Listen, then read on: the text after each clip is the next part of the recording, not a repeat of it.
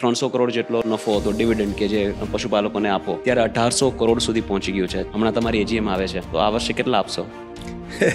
ગણતરીના દિવસો જ બાકી છે. તે દિવસે તમે સમાચાર જોજો ને. કોર્પોરેટ લેવલની ટેકનોલોજી ઇનોવેશન્સ કે એના એની જે પ્રોસેસીસ છે એ બધું ઇમ્પ્લિમેન્ટ કરવાની પ્રેરણા કે આઈડિયા કે વિઝન સર ક્યાંથી આવે છે? કંઈનું કંઈ નવું કરવાની જો પ્રેરણા આની અંદર મળતી હોય ને તો મને મળે છે આપણા દેશના પ્રધાનમંત્રી મોદી સાહેબ. એક બેન બોલે છે કે અગર કોઈ પશુ માંદું પડ્યું હોય કોલ કરી અને અડધીથી એક કલાકની અંદર તો ડૉક્ટર આવી જાય છે. ગાય ભેંસની હેલ્થની ચિંતા કરવી એ પણ ડેરીનું જ કામ છે એવું અમે સમજીએ છીએ. એટલે અમે બસો પચાસથી વધારે એમ્બ્યુલન્સ ગાય ભેંસ માટે કરી છે. Why Banas dairy?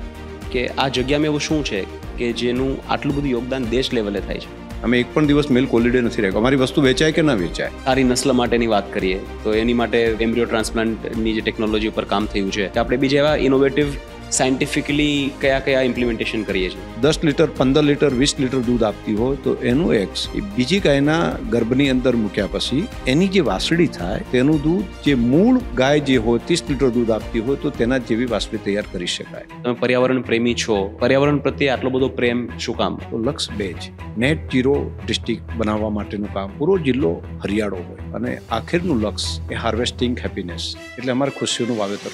નમસ્કાર. વિઝડમ કાસ્ટના આ ખાસ એપિસોડમાં આપનું સ્વાગત છે.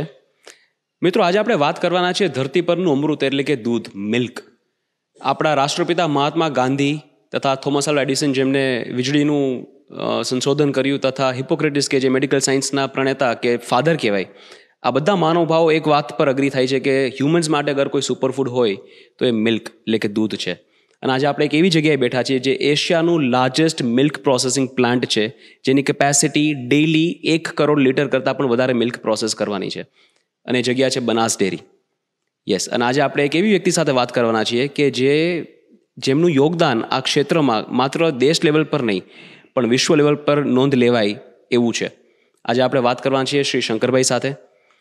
જેઓ માત્ર સત્યાવીસ વર્ષની ઉંમરે કોઈ જાતના પોલિટિકલ બેકગ્રાઉન્ડ વગર સામાન્ય પરિવારમાંથી પોલિટિક્સમાં આવે છે અને વિધાનસભાના અધ્યક્ષ સુધીની સફર તય કરે છે. આજની તારીખે વિધાનસભાના અધ્યક્ષ તરીકે પોતાની ભૂમિકા ભજવે છે તથા બનાસ ડેરીના છેલ્લા દસ વર્ષથી ચેરમેન છે અને બે વાર બિનહરીફ ચૂંટાયેલા છે. આ બહુ રેરલી બનતું હોય છે. એક એવા નેતા કે જે જમીનથી જોડાયેલા છે. ઘણા બધા એવા કામો કરેલા છે એમણે પશુપાલકોના વેલફેર માટે, ડેરી ઉદ્યોગના વિકાસ માટે અને બનાસ ડેરીને વિકાસના પંથે ચલાવવાનું નહીં, દોડાવવાનું કામ કર્યું છે. તો આજે આપણે ઘણી બધી વાતો કરીશું ડેરી વિશે, એના વર્કિંગ મોડલ વિશે, એમનું ડેરી ઉદ્યોગમાં શું યોગદાન છે, ભારત દેશની નેશન બિલ્ડિંગ લેવલની એક્ટિવિટીઝમાં સહકારી મંડળીઓ શું ફાળો ભજવી ભજવી શકે, એવી ઘણી બધી વાતો આજે આપણે કરીશું. શંકરભાઈ જય અંબે, કેમ છો? જય અંબે, જય, કેમ છે? બસ ઓલ વેલ આપણે ડેરીથી વાત ચાલુ કરીએ કે આવડો મોટો દેશ, એકસો ચાલીસ કરોડનો દેશ અને ભારત મિલ્ક પ્રોડક્શનમાં આખા વર્લ્ડમાં લીડર છે. આખા વર્લ્ડમાં પ્રોડ્યુસ થતું કંઈક પચીસ ટકા દૂધ ખાલી ભારતથી આવે છે. રાઈટ તો આ અને એ પ્રોડક્શનમાં બનાસ ડેરીનો ખૂબ જ મોટો ફાળો છે. તો એક બહુ મોટી જવાબદારી કહેવાય કે આવડી મોટી સંસ્થાના ચેરમેન તરીકે ફરજ નિભાવી તો પહેલાં તો લોકોને આપણે એ સમજાવીએ કે બનાસ ડેરી શું કામ ઇમ્પોર્ટન્ટ છે? ભારતનું રત્ન કહી શકો તમે આ સંસ્થાને. અને એનું શું યોગદાન છે? થોડું બેકગ્રાઉન્ડ આપણે આપીએ લોકોને ડેરી માટેનું. એ ભારત દેશની અંદર દૂધ સાથે જોડાયેલો સદીઓથી છે. તમે સતયુગના ટાઈમથી જોશો તો પણ, અને બે હજાર વર્ષ પહેલાંનો ઇતિહાસ જોશો તો પણ કૃષિ અને પશુપાલન. આ બંનેની સાથે એટલે તો ભારત આજે પણ કૃષિ પ્રધાન દેશ તરીકે ઓળખાય છે. જ્યાં ડેરી સેક્ટરની આપણે વાત કરી, તો બનાસ અને અમૂલ એક અદ્ભુત કહી શકાય તેવું મોડલ દુનિયા સામે સફળતાપૂર્વક દુનિયાની સામે આવી ગયું છે. ત્રણ ટ્રાયલની અંદર આ કામ કરે છે. એક, પહેલું ગામ કક્ષાએ ગામની મંડળી, ત્યાં આગળ પશુપાલકો આવીને દૂધ ભરાય ત્યાં એનું ટેસ્ટિંગ થાય. ત્યાંથી પછી ડેરીની અંદર આવે, જે જિલ્લાની ડેરી જે હોય છે, દાખલા તરીકે બનાસ ડેરી છે. તો ત્યાંનું પ્રોસેસિંગ થાય વેલ્યુ એડિશન થાય. અને ત્રીજું જે અમારું સ્ટ્રક્ચર છે, એ છે મિલ્ક માર્કેટિંગ ફેડરેશન જેને અમૂલ નામથી લોકો ઓળખે છે.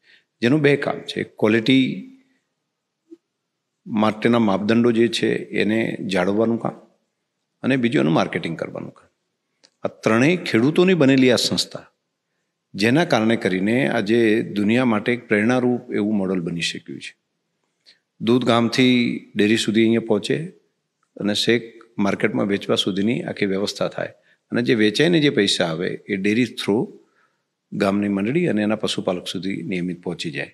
આ રીતની એક આખી વ્યવસ્થા અમૂલ બ્રાન્ડ જે આપણે કહીએ એ અથવા બનાસ ડેરીની અંદર છે. અમારી એ વાત સાચી છે કે છેલ્લા દસ વર્ષની અંદર દુનિયાની અંદર સૌથી વધારે પ્રગતિ કોઈ એક ડેરી તરીકે કરી હોય તો એમાં કદાચ બનાસ ડેરી, બનાસકાંઠા જિલ્લાનો નંબર આવે છે. એટલા માટે કે એની કેપેસિટી જે પચાસ વર્ષમાં જે હતી એ એના કરતાં લગભગ ડબલ માત્ર દસ વર્ષના સમયગાળામાં કરી. ખેડૂતોની ઇન્કમ જે હતી એ દર મહિને અમે અઢીસો ત્રણસો કરોડ રૂપિયા આજુબાજુ અપાતા. એ આજે બારસો કરોડ રૂપિયા સુધી પહોંચ્યા છે દર મહિને એના અકાઉન્ટમાં જમા કરવાનું કામ કરી રહ્યા છીએ. તો એક સક્સેસ છે, એનું ગૌરવ એક એક અમારા પશુપાલકને પણ છે. ના ના, સો ટકા. સર, એનું એનું શું રીઝન હોઈ શકે કે why Banas why Banas dairy? કે આ જગ્યામાં એવું શું છે કે જેનું આટલું બધું યોગદાન દેશ લેવલે થાય છે? યોગદાન એટલે આમ આમ તો જોઈએ તો રણને અડીને આવેલો વિસ્તાર છે, સૂકો વિસ્તાર છે, પાણીની અછત છે. અને તો પાણી જ્યાં વધારે હોય ત્યાં ઘાસ વધારે થાય, જ્યાં વાત ઘાસ વધારે હોય ત્યાં પશુપાલન થઈ શકે. પણ એવું નથી. અહીંયા વિપરીત સંજોગો છે. અહીંયા ટેમ્પરેચર પણ વધારે છે, જે પશુ માટે, ગાય ભેંસ માટે અનુકૂળ કહેવાય એટલું તો ટેમ્પરેચર નથી. પણ છતાંય બનાસવાસીઓ ઇતિહાસ બનાવ્યો છે. એનું સૌથી મોટું કારણ હોય તો એક ભરોસો. સહકારી માળખા ઉપરનો ભરોસો. અને યોગ્ય વાતાવરણ મળ્યું. અને દર વખતે એને યોગ્ય ભાવ મળ્યા. જેથી લાગ્યું કે હા, આપણે અહીંયા વ્યવસાય કરશું તો સો ટકા આપણને સફળતા આની અંદર મળશે. તો એક વાતને બીજું નવું જનરેશન છે. એમણે પણ આ વાતને સ્વીકારી. અને અહીંથી માઇગ્રેશન કરીને ઘણા લોકો બહાર ગયા હતા. એ રિવર્સ માઇગ્રેશન થઈને પરત આવ્યા. આવીને પણ એમણે પોતાના તબેલા અહીંયા બનાવ્યા. અને પચાસ હજાર લાખ રૂપિયાના પગાર માટે શહેરમાં જવું પડે. તેના બદલે અહીંયા બેસીને પશુપાલનના વ્યવસાયમાં ઘર આંગણે રહીને, પોતાના ખેતરમાં રહીને કમાઈ શકાય. એ વાત એ લોકોએ સ્વીકારી કે ફેમિલી સાથે રહેવાશે, પરિવાર સાથે રહીશું, બાળકોનો અભ્યાસ પણ અહીંયા કરાવી શકાશે અને કુદરતના ખોડામાં રહીને પૈસા કમાઈ શકાશે. તો એટલા માટે કરીને પશુપાલનનો વ્યવસાયને એક વ્યવસાય તરીકે બનાસવાસીઓ સ્વીકાર્યો. બીજું, એની સાથેની પેરેલલ જે વ્યવસ્થાઓ હતી, એ અમે બધી પૂરી કરી. ખાલી દૂધ લેવું અને વેલ્યુએશન કરવું એટલું જ નહીં. પરંતુ એને એક તો પારદર્શકતા લાવી કે ડાયરેક્ટ પૈસા એના અકાઉન્ટમાં જમા થવાનું ચાલુ થયું. એનો હિસાબ એના મોબાઈલમાં એપ દ્વારા એ પોતે જોઈ શકે એવી વ્યવસ્થા થઈ ડે ટુ ડે બીજું, દર પંદર દિવસે, આમ પગાર મહિને મળતો હોય, પણ ડેરીની અંદર દર પંદર દિવસે પગાર એ કોઈ પણ વસ્તુ વેચાય કે ના વેચાય, પણ તો એના ખાતામાં પંદર દિવસે પગાર પહોંચી જ જાય.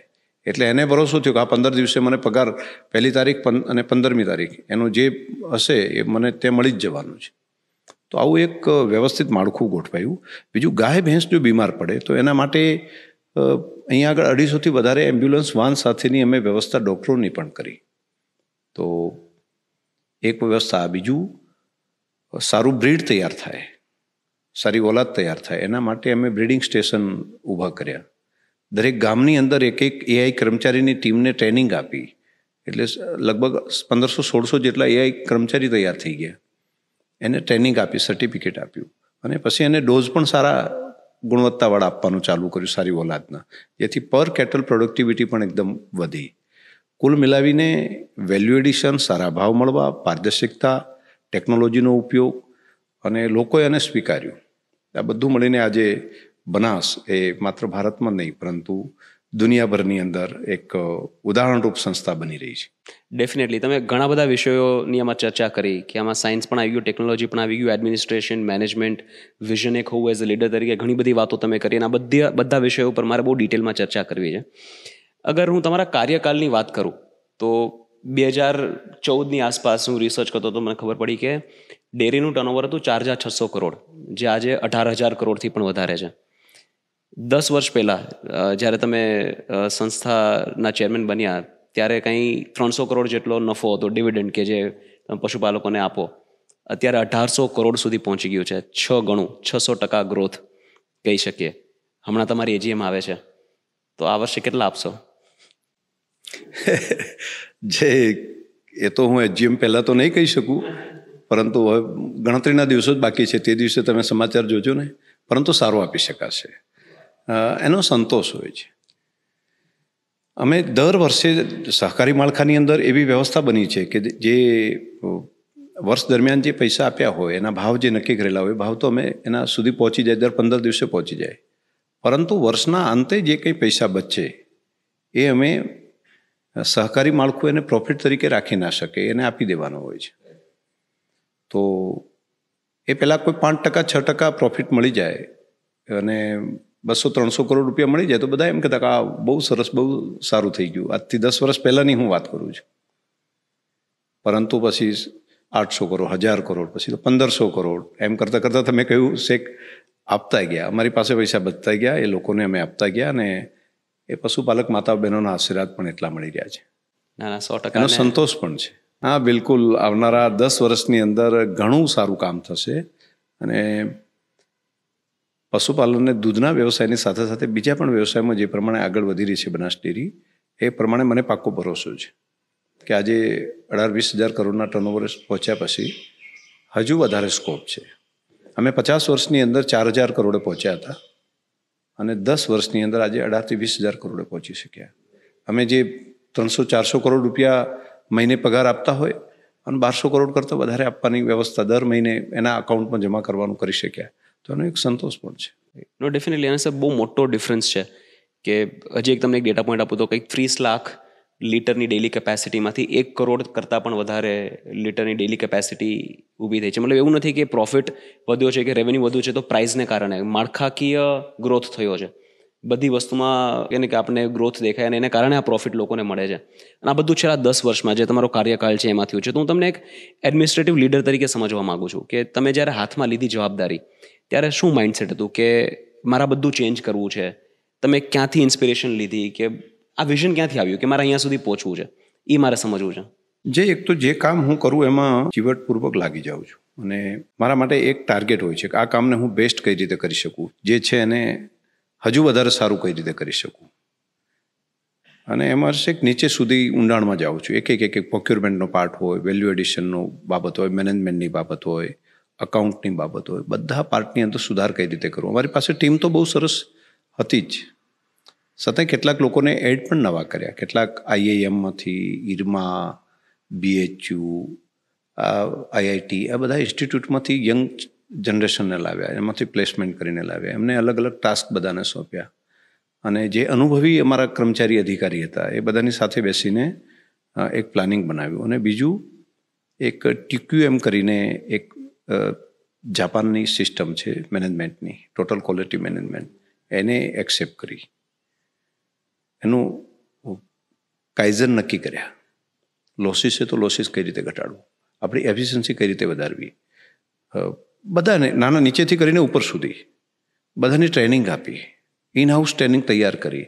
અમે બોર્ડ ઓફ ડાયરેક્ટર પણ આણંદની અંદર અમે બેસીને સિનિયર અધિકારીઓ સાથે ત્રણ દિવસ સુધી બધા બેઠા હતા અને અમે નક્કી કર્યું કે કેવું કેવું પ્લાનિંગ કરવું? અમારો દસ વર્ષ પછી શું હશે? વીસ વર્ષ પછી શું હશે? પડકાર કયા હશે? કામ કયું કયું કરી શકાય? એક આ કામ. બીજું ટેકનોલોજીનો ભરપૂર ઉપયોગ કર્યો. જે કામ અમે પ્રોક્યુરમેન્ટ કોઈ પણ બાબતનું કરતા હતા, કોઈ વસ્તુ ખરીદીએ, તો એ જનરલી બે ત્રણ એજન્સીઓ સાથે આવતા અને એમાંથી જ હરીફાઈ ચાલતી. એની જગ્યાએ અમે ઓનલાઈન કર્યું. તો જેને કારણે સો સો, દોઢસો દોઢસો લોકો આવવા મળ્યા હરીફાઈ, જેના કારણે અમને સસ્તું ઘણું બધું મળવાનું ચાલુ થયું. તો મેન્યુઅલી હતું, એની જગ્યાએ મેં ઓનલાઈન કર્યું. અને એથી એક સ્પર્ધા પણ સારી થઈ અને એનો ફાયદો પણ થયો. બીજું ઈ ડેરી કન્સેપ્ટ આખો લીધો. અમારી શેપની વ્યવસ્થા સાથે, એટલે બધું મોબાઈલમાં જોઈ શકાય, બધું કમ્પ્યુટરમાં જોઈ શકાય અને અકાઉન્ટેબિલિટી પણ એની અંદર થાય. એક અમે રાશિ પણ અહીંયા ડેવલપ કર્યું કે કોની કઈ જવાબદારી અને કયા અધિકારો.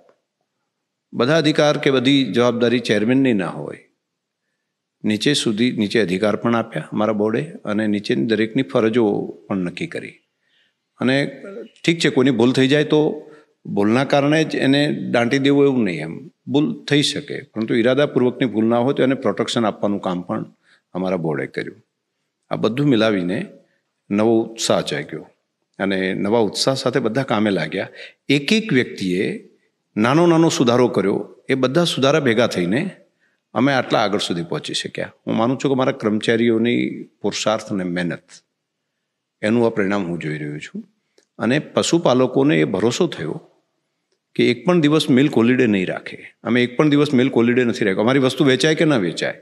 પરંતુ અમે નક્કી કર્યું કે દૂધ લેવાનું અમે ચાલુ રાખીશું અને પૈસા વેચાઈ વસ્તુ વેચાઈ હોય કે ન વેચાઈ હોય પણ એને સમયસર પૈસા પહોંચાડવાનું પણ કન્ટિન્યુ ચાલુ રાખો. પણ સર એ કેવી રીતે પોસિબલ બને? કે તમારી પાસે ઇનફ પુરવઠો હોય અને પશુપાલકો દૂધ લઈને આવે છે તો ઘણીવાર અગર બિઝનેસમાં જોઈએ તો એમ કે હમણાં જરૂર નથી મારી પાસે પડ્યું છે. અને હોય તો પણ પાછું લેવાનું. જે વાત તમારી સાચી છે કે અમે અત્યારે ટોટલ દૂધ લઈએ એના પચાસ ટકા જેટલું દૂધ અમે ફ્રેશ પ્રોડક્ટ તરીકે વેચીએ. એમાં પાઉચની અંદર વેચી શકીએ. માની લો કે આજે એંસી લાખ લીટર દૂધ આવ્યું હોય તો એંસી લાખમાંથી અમે ચાલીસ લાખ લીટર દૂધ પાઉચની અંદર દહીં સાસ તરીકે વેચીએ. પરંતુ ચાલીસ લાખ લીટર જે પડ્યું રહે અમારી પાસે, એમાંથી કેટલોક અમે વીસ, પચીસ લાખ લીટરનું વેલ્યુ એડિશન કરીએ. આઈસ્ક્રીમ બનાવીએ, એમાંથી બાકીની ચીઝ બનાવીએ બટર બને, એ બધી વસ્તુ બને. પરંતુ છતાંય કેટલું દૂધ પડ્યું રહે એનો અમારે પાવડર બનાવવો પડે. એ પાવડર પડાવીને અમારે સ્ટોક કરી રાખીએ. હવે એ આજે ન વેચાય. દાખલા તરીકે દૂધ આજે વેચીએ છીએ તો એ મહિનાની અંદર એના પૈસા દૂધના આમ જોઈએ તો પચીસ ત્રીસ દિવસે પરત આવી જાય. એ મહિને આવે તો પણ અમારે તો પંદર દિવસે આપવાના થાય. પરંતુ બીજી વસ્તુ બનાવશું તેના બે મહિના કે ચાર મહિને પૈસા મળશે. આજે અમે અહીંથી ચીજ બનાવીને વેચીએ છીએ તો માર્કેટમાં પહોંચાડવું અને વેચાવવું એના પરત પૈસા આવતા અમને બે મહિના, ચાર મહિના જેટલો સમય થઈ જાય. અને કેટલાક કોમ્યુનિટી જે પાવડર અને બટર જે પડ્યું રહે એ તો ઘણી વખત એક એક વર્ષ સુધી, બબે વર્ષ સુધી રાખવું પડે. અને માર્કેટમાં દાખલા તરીકે આજની તારીખમાં મારી પાસે જથ્થો હશે તો કે જે અમારે બહાર કોમ્યુનિટી તરીકે બહાર વેચવો પડશે. આંતરરાષ્ટ્રીય માર્કેટમાં જ્યારે એના ભાવ આવે અથવા તો એનો ડિમાન્ડ અહીંયા લોકલ માર્કેટમાં ઊભી થાય દેશમાં. પરંતુ અમે એ પૈસા માલ ન વેચાય તો પણ બેંક પાસેથી પૈસા લઈને પણ પશુપાલકને નિયમિત પંદર દિવસે મળી જાય. એને એક પણ દિવસ મોડું ન થાય. એની કાળજી સતત ડેરી રાખે છે. અને જેના કારણે કરીને પશુપાલકોને ભરોસો છે કે અહીંયા પૈસા મળશે કે નહીં મળે, વસ્તુ વેચાશે કે નહીં વેચાશે, પરંતુ અમારા ખાતામાં તો પૈસા જમા થઈ જ જશે. એ જે શાખા માળખાની જે સ્ટ્રેન્થ છે, એના કારણે કરીને ભરોસો વધ્યો. અને બીજું નિયમિતતા રહી. ગમે એટલું દૂધ ઉત્પન્ન અમે ચાલીસ લાખ લીટરમાંથી સીધું એક કરોડ લીટર દસ વર્ષની અંદર થઈ જાય તો એટલા પ્લાન્ટ ક્યાંથી લાવવા? એટલી મશીનરી ક્યાંથી લાવવી? મશીનરી લાવીએ તો એના એનો ખર્ચ થાય. લગભગ ત્રણ હજાર કરોડ કરતાં વધારાનું ખર્ચ રોકાણ એની અંદર કરવું પડ્યું હોય. તો એની લોન લઈએ એ લોન લઈને એના પૈસા ભરવા પડે. એ પૈસા ભર્યા પછી વાયબિલિટી આવવી જોઈએ. અને સતાય ભાવ આપવાનો, સતાય ભાવ વધારો, નફો આપવાનો અને એ પણ નિયમિત આપવાનો. તો એક આ બધાની પાછળ અમારી ટીમ, મારું નિયામક મંડળ અને મારા અધિકારીઓની ટીમ. એ રાત દિવસ ચોવીસ કલાક કામ કર્યા જ કરે છે. ડેરી સતત ચાલે છે, ચોવીસ કલાક ચાલે છે. ચોવીસ કલાક હું શબ્દ વાપરું છું ને એટલે ડેરી ક્યારેય ઊંઘતી નથી. એ અહીંથી દૂધ ગામથી આવ્યું, ડેરીમાં આવ્યું, ડેરીમાંથી અમે ટેન્કર દ્વારા અને રેલવે દ્વારા શેખ દિલ્હી, ફરીદાબાદ પહોંચાડીએ, ત્યાં જઈને વેલ્યુ એડિશન થાય, ત્યાંથી રાત્રે પેક થાય, પેક થઈને ફેડરેશન દ્વારા દરેકના ઘર સુધી જે વ્યક્તિ દિલ્હીવાસી ઘરે સવારે જાગે પહેલાં, એના ઘરના દરવાજાની બહાર ત્યાં થેલી પહોંચી ગઈ હોય. એટલે આખું કન્ટિન્યુ ચાલ્યા આવતી એક આખી પ્રોસેસ છે. સર, ખરેખર આશ્ચર્યચકિત છું આ વાતો સાંભળીને. આપણે ટીક્યુએમની વાત કરી ટોટલ ક્વોલિટી મેનેજમેન્ટ કેઝનનો તમે ઉલ્લેખ કર્યો. પછી તમે જે ટેકનોલોજીનો ઉલ્લેખ કર્યો સેપની વાત કરી તમે.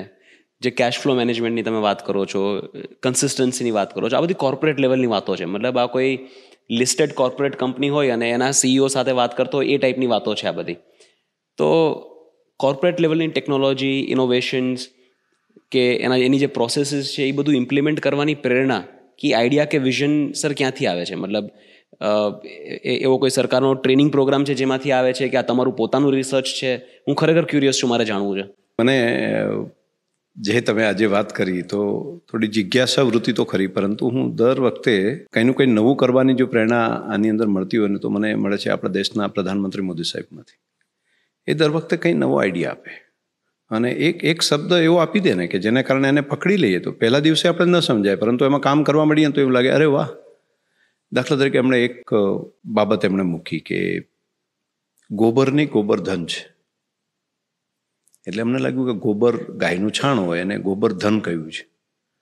તો એમાંથી વેલ્યુ એડિશન બનાવી શકે. મેં પછી પૂછ્યું કે સાહેબ, શું કરાય? એમને કહ્યું કે આ તો એક વેસ્ટ નથી વેલ્થ છે. અને સાચા અર્થમાં એક પ્રયોગ તરીકે અમે એક પ્લાન્ટ ચાલુ કર્યો. એમાંથી સીએનજી બનાવવાનું કામ અને પ્રાકૃતિક ખાતર બનાવવાનું કામ. સાચા અર્થમાં એ આજે વેલ્થ બની ગઈ છે. અને એક પ્લાન્ટ બનાવ્યા પછી અમે નવા પાંચ પ્લાન્ટ અત્યારે ચાલુ કરી રહ્યા છીએ. લગભગ અઢીસો કરોડના ખર્ચે. ખેડૂતને એક રૂપિયે કિલો ગોબર ખરીદી શકાય. દૂધની સાથે સાથે એક્સ્ટ્રા ઇન્કમ આપી શકાય. તો પ્રેરણા ત્યાંથી મળે. એવું જ એમણે એક વખત કાર્યક્રમમાં એક આવ્યા અને કહ્યું કે બનાસે શ્વેત ક્રાંતિ તો કરી છે, પરંતુ સ્વીટ ક્રાંતિ કરે. સ્વીટ ક્રાંતિ એટલે મધુમક્ખી પાલનનું કામ.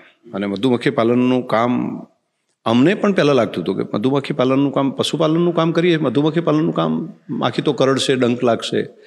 પરંતુ એ કામ ચાલુ કર્યા પછી તેને ટ્રેનિંગ આપી, લોકોને સમજાવ્યા, લોકો સમજ્યા અને આજે મધુમાખી પાલનનું કામ ચાલુ કર્યું છે.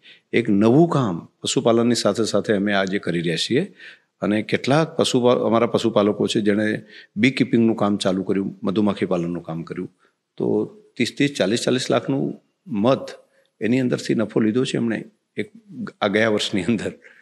તો આઈડિયા ત્યાંથી મળ્યો. બીજું જે કામ કરીએ છીએ એમાં મન લગાવીને કરવું. એની અંદર ઉપરથી કરવું એવું નહીં એમ. જે કામ કરીએ છીએ એમાં લાગી પડવાનું અને એ જ આપણા માટે ઈશ્વરે નિયત કરેલું કામ છે. અને નિયતિએ જે નક્કી કરેલું હોય એ કામને આપણે એ કરાવે છે ને આપણે કરીએ છીએ. પરંતુ આજુબાજુ કંઈ બીજું જોવું કે વિચારવાની જગ્યાએ બસ એમાં ફોકસ લાગી જઈએ. બીજું જ શ્રીમદ ભગવદ્ ગીતાની અંદર પણ કહ્યું છે કે જે તમે કામ, પોતાના સ્વાર્થ સિવાય પરોપકારનું કામ કરો છો, એ ભક્તિ બને છે. તો મારા મન તો આ હું ભક્તિ સમજુ છું. સર મને એક વાત આવતા વાત કરીને પોતે એક યાદ આવે છે. મેં એક બહુ સરસ મજાનો વીડિયો જોયેલો. મહિલાઓ સાથે મીટિંગ હતી, બનાસકાંઠાની બહેનો અને માતાઓ સાથેની એક મીટિંગ હતી, જેમાં આદરણીય વડાપ્રધાન શ્રી મોદી સાહેબ પાટીલ સાહેબ, તમે અને આપણા આદરણીય મુખ્યમંત્રી શ્રી ભૂપેન્દ્રભાઈ બધા હાજર હતા. અને મોદી સાહેબે બહુ મસ્ત વાત કીધી કે અહીંયાના ખેડૂતો અને પશુપાલકોની તો પાંચ આંગળીઓ ઘીમાં છે. કારણ કે ઘણા બધા ઓપ્શન્સ અને ઘણા બધા એવેન્યુઝ મળે છે રેવન્યુ માટે. અને પછી બધા બહેનો પોતપોતાના આંકડાઓ કહેતા હતા. અને હું ખરેખર આશ્ચર્યચકિત થઈ ગયો, કરોડોની વાતો થાય છે. કોઈને વાર્ષિક કરોડ રૂપિયાની આવક છે, કોઈને દોઢ કરોડની આવક છે, દૂધમાંથી, કોઈને ચાલીસ પચાસ લાખની આવક છે. તો હું તો વિચારમાં પડી ગયો કે કોઈ કોર્પોરેટ ક્ષેત્રમાં કોઈ કામ કરતું હોય કે કોઈ આઈએસ ઓફિસર હોય તો સમજી શકીએ કે ભાઈ ચાલીસ પચાસ લાખનો પગાર હોય, પણ અહીંયા કરોડ કરોડ રૂપિયાની વાત થાય છે. સર, ખરેખર એ શક્ય છે? અને આ ખરેખર આ મેસેજ લોકો સુધી પહોંચવો જોઈએ કે આ પોસિબલ છે? જય, તમે અમારા એજીએમમાં આવજો. અમે સૌથી વધારે દૂધ ભરાવ દૂધમાંથી આવક લેતી બહેનો છે, એનું સન્માન અમે કરીએ છીએ. તે દિવસે તમારા ધ્યાનમાં આવશે કે પચીસ લાખ, પચાસ લાખ, કરોડ, દોઢ કરોડ સુધીની આવક વર્ષે લેવાવાળી બહેનો અહીંયા છે, પશુપાલક માતાઓ બહેનો અહીંયા છે બનાસની ધરતી ઉપર. એ પોતે મહેનત કરે છે અને ડેરીની અંદર ત્યાં ગામની મંડળીમાં દૂધ ભરાવે છે અને એની ઇન્કમ એટલી મેળવે છે. અને એ લાખોની સંખ્યામાં મહિને પચાસ હજાર લાખ રૂપિયા કમાતી હોય એવી બહેનોની સંખ્યા લાખોની સંખ્યામાં છે એક બે કે હજારોમાં નથી કહેતો અને એ પોતે આત્મનિર્ભર બની રહી છે. તો આ મોદી સાહેબે તે દિવસે વાત કરી હોય તો એ બિલકુલ એમને મોટિવેશન મળે એ માટે. અને એ દર વખતે આવે ત્યારે નવો કોઈ આઈડિયા આપીને જાય છે. એ મોદી સાહેબ અહીંયા આવે ત્યારે એમણે બહેનોનું સંમેલન હતું, બધાએ ઓવારણા પણ લીધા હતા પોતાના ભાઈ તરીકે. અને એ આવે ત્યારે કંઈનું કંઈ આપીને પણ જાય છે. અમને પણ કોઈની કોઈ ગવર્મેન્ટની સ્કીમ આપીને ગયા હોય, એના, એનો પણ લાભ છે પશુપાલકો સુધી ત્યાં પહોંચે. તો મોદી સાહેબ અને એની બહેનો, એમની સાથેનું બોન્ડિંગ પણ છે. માતાઓ બહેનોને પોતાના ભાઈ હોય, એ રીતે નો ભાવ એમની સાથેનો છે. અને તમે કહ્યું કે ઇકોનોમીની દ્રષ્ટિથી એ ઇકોનોમિકલ આટલા સક્ષમ બહેનો બની શકે, તો હા. બની શકે. હજુ પણ વધારે થઈ શકે. આજે હું દોઢ કરોડ કહું છું. હાઈએસ્ટ દોઢ કરોડ કરતાં પણ વધારે રકમવાળા નંબર હશે કે જેથી વધારે રૂપિયા કમાયા હશે, એક વર્ષની દૂધની આવક એમણે મેળવી હશે. તો હજુ એમાંથી આગળ વધશે. હજુ સ્કોપ વધારે છે. હજુ અમે પર કેટલ પ્રોડક્ટિવિટી જે પ્રમાણે વધારવાનું કામ હાથ ઉપર લીધું છે. એ પ્રમાણે હું સમજી હું માનું છું કે જેટલા અત્યારે ગાય ભેંસ છે એટલા જ ગાય ભેંસમાંથી હજુ વધારે દૂધ અહીંયા પશુપાલકો પોતે મેળવશે અને એના વધારે નાણાં પણ પશુપાલકો પોતાના ખાતામાં જમા લઈ શકશે. રાઈટ રાઈટ સર આ વાત સાંભળીને ભણેલા ગણેલા લોકોને એવો વિચાર આવશે કે હવે તબેલો કરવો જોઈએ. પેલા નાના હતા ને ત્યારે એવું કહેતા કે ભણવામાં ધ્યાન ન હોય તો કે તું શું કરીશ? ઢોર ચારીશ એમ. પણ હવે સાંભળીને એવું લાગે છે કે ખરેખર એક બહુ સારી ઓપોર્ચ્યુનિટી છે. જય માત્ર કયું કામ કરવું તે અગત્યનું જ નહીં. મોટાભાગે યંગ જનરેશનને વ્હાઇટ કોલર જોબ માટેનું આકર્ષણ વધારે હોય, કેમ કે એ ટીવીમાં દેખાતું હોય, બાકી પણ લાગતું હોય. પરંતુ આ પણ એક હેપીનેસ આપી શકે, નાણાં તો આપી શકે, તેની સાથે સાથે આનંદ પણ આપી શકે, તેવો વ્યવસાય છે. પરંતુ એના માટેની ઓપોર્ચ્યુનિટી નથી. પરંતુ આ બધા કામની બેઝમાં હોય તો સહકારિતા છે. માત્ર પશુપાલનનો વ્યવસાય જ હું નથી કહેતો, માત્ર કૃષિ જ નથી કહેતો, કોઈ પણ કામની અંદર. આપણા દેશમાં લોકો ઘણા બધા છે, પરંતુ બધા અલગ અલગ છે. બધા લોકો જો સામૂહિક રીતે વિચાર કોઈ પણ કામની અંદર કરે અને એક સાથે મળીને કામ કરવાનું ચાલુ કરે, એક દિશાની અંદર કામ કરવાનું ચાલુ કરે, બધાના વિચારો જો એક બની શકે, તો માત્ર દૂધમાં જ આ ક્રાંતિ થઈ છે તેવું નહીં, બધા કામની અંદર થઈ શકે. એ હાઉસિંગમાં થઈ શકે એજ્યુકેશનમાં થઈ શકે, હેલ્થમાં થઈ શકે. એગ્રીકલ્ચરમાં દૂધમાં થયું છે, હવે ઘઉંમાં થઈ શકે, મગફળીમાં થઈ શકે, દિવેલામાં થઈ શકે, વેજીટેબલ્સમાં થઈ શકે, ફ્રૂટમાં થઈ શકે. બધા કામની અંદર સહકારિતાના માધ્યમથી કામ કરે તો બે બાબતો આમાં ખૂબ મહત્વની છે. એક, બધા ભેગા મળીને સામૂહિક રીતે એક કોઈ વ્યક્તિ આવી ડેરી ન બનાવી શકે. એક ડેરી, એક ખેડૂત નાનો હોય તો એને ચીઝ ન બનાવી શકે, એને પોસાય પણ નહીં, વાયબલ પણ ન થાય. પરંતુ બધા ભેગા મળીને આ પોતાની ઇન્ડસ્ટ્રી જ બનાવી, એટલે એને વાયબલ થાય છે. એક તો વોલ્યુમ મોટું થાય છે, એટલે વાયબિલિટી છે. બીજું માર્કેટિંગ માટે પણ સામૂહિક પોતાની બ્રાન્ડ આવડી ઊભી કરવી હોય તો કોઈ વ્યક્તિને પશુપાલકને ઇન્ડિવિજ્યુઅલ બ્રાન્ડિંગ ન કરી શકે. ક્વોલિટી માટેના માપદંડો જે નક્કી કર્યા, આ બધા મશીનો જે લાવવા પડે, એ બધા સામૂહિક રીતે છે તો એ ક્વોલિટી માટેના મશીન પણ લાવી શકે. ઇન્ફ્રાસ્ટ્રક્ચર પણ એના કારણે ઊભું કરી શકાયું બાકીના કામોમાં પણ જો બધા લોકો ભેગા મળીને કામ કરે તો ઉપભોક્તા છે, એને સસ્તું મળી શકે અને જે ઉત્પાદક છે, એને વધારે પૈસા મળી શકે.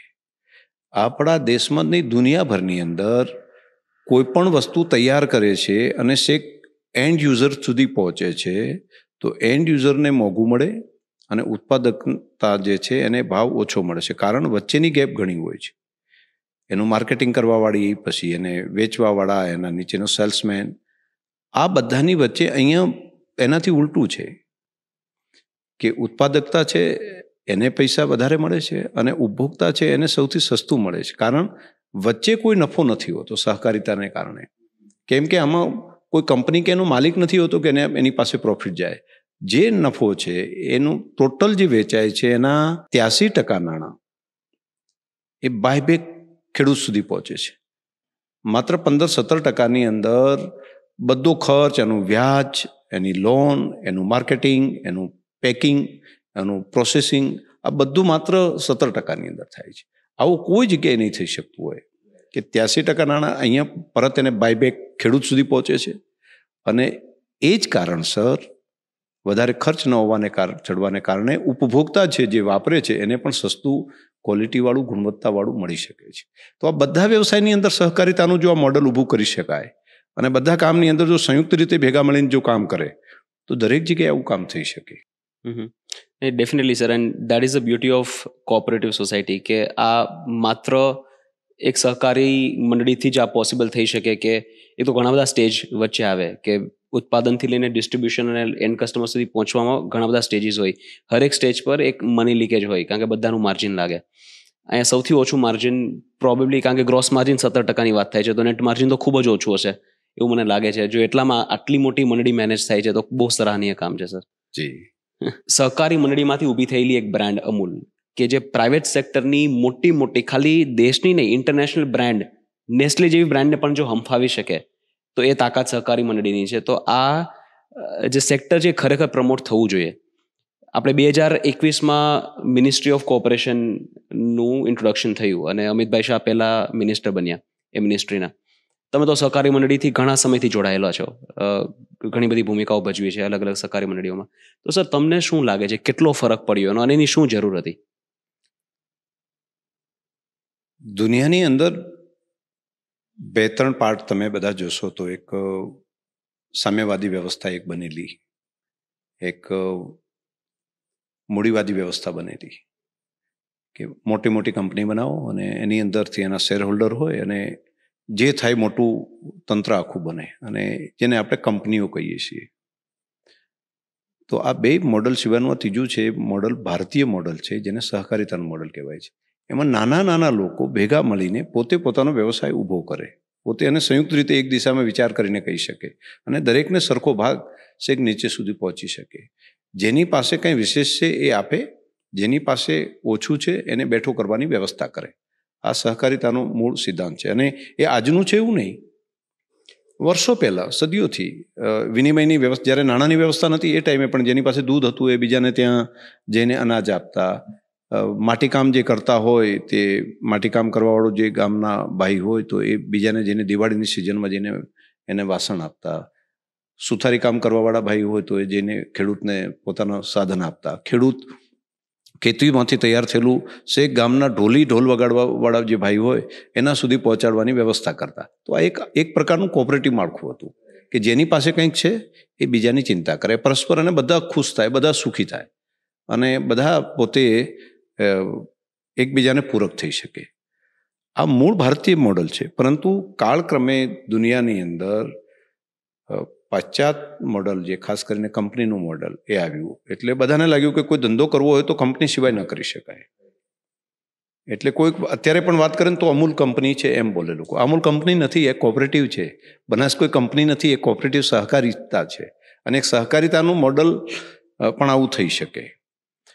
આપે વાત જે પ્રમાણે કરી, નવું સહકારિતા મંત્રાલય બન્યા પછી ભારતની સહકારિતાને દુનિયા અલગ દ્રષ્ટિથી જોવાનું ચાલુ કર્યું છે. હું દુનિયા કહું છું. હમણાં ત્રણ મોટી સહકારી સંસ્થાઓ બની છે.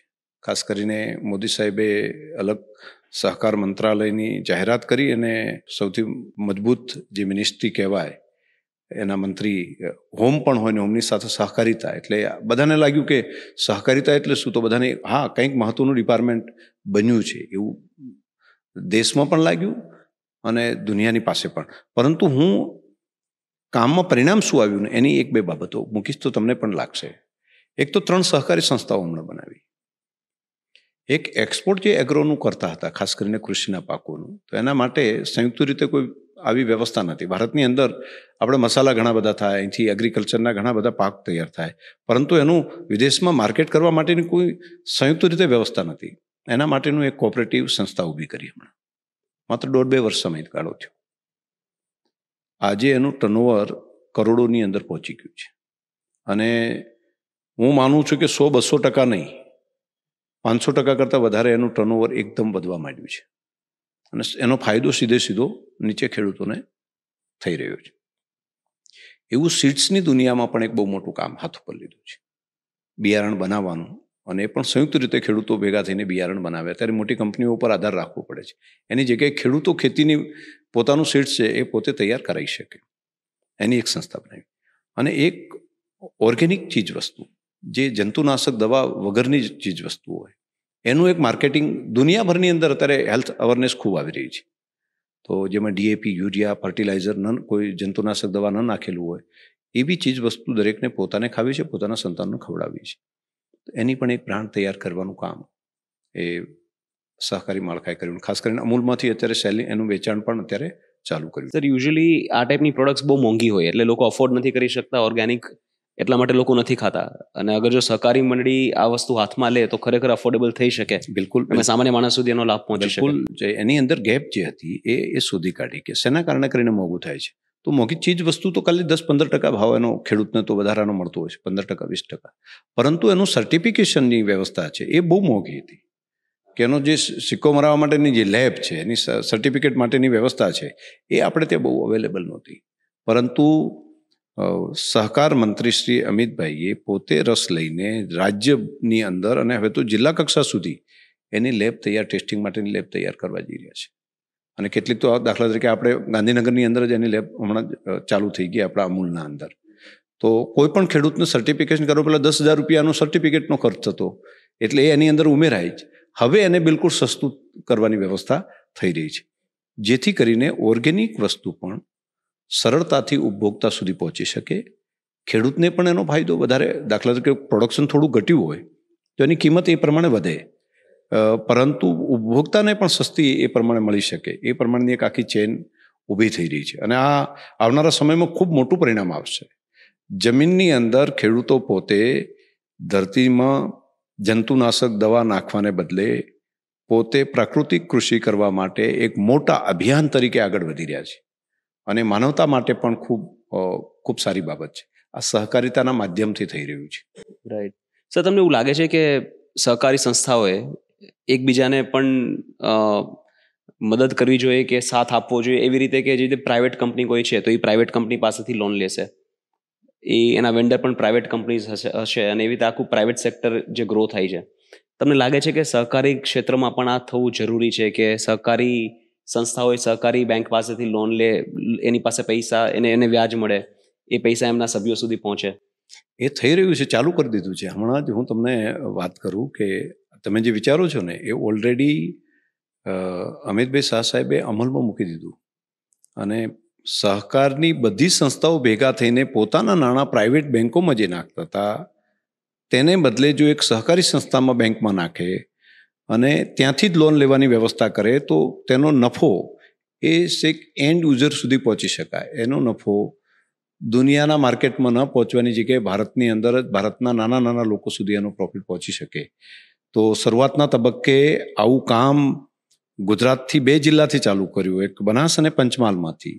કે બધી સહકારી સંસ્થાઓ અને એની સાથે જોડાયેલા લોકો, એ બધા સહકારી સંસ્થાની અંદર જ નાણાં પોતે મૂકે અને લોન પણ ત્યાંથી જ લે. અને હવે આખા રાજ્યની અંદર દરેક જિલ્લાની સહકારી સંસ્થાઓ ભેગી મળીને આ પ્રમાણે બેન્કિંગ માળખાને સુદૃઢ કરવા માટેનું કામ હાથ ઉપર લીધું છે.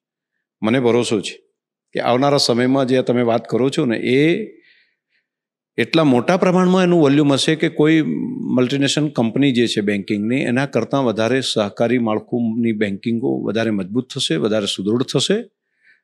એનું પરિણામ કેવું મળી શકે? એની વાત કરું છું કે અહીંયા અમારે કોઈ પણ લોન લેવી હોય તો સ્વાભાવિક રીતે એના પશુપાલકને આઠ દસ ટકા એનું ધિરાણ આઠ દસ ટકાએ મળતું હોય. બાકી બીજા માટે તો બાર બાર ચૌદ ચૌદ ટકા બીજી બેન્કો એનો પેલું લેતા હોય છે. પરંતુ કેન્દ્ર સરકારની યોજના બેન્કિંગનું આ માળખું એ બંનેને કનેક્ટ કર્યા, ડેરીને સાથે જોડી અને જીરો ટકાથી પચાસ હજાર રૂપિયા સુધીની લોન પશુપાલકને આપી શકાય. આવું એક અદ્ભુત કામ આ ઘટનાને કારણે કરીને થયું.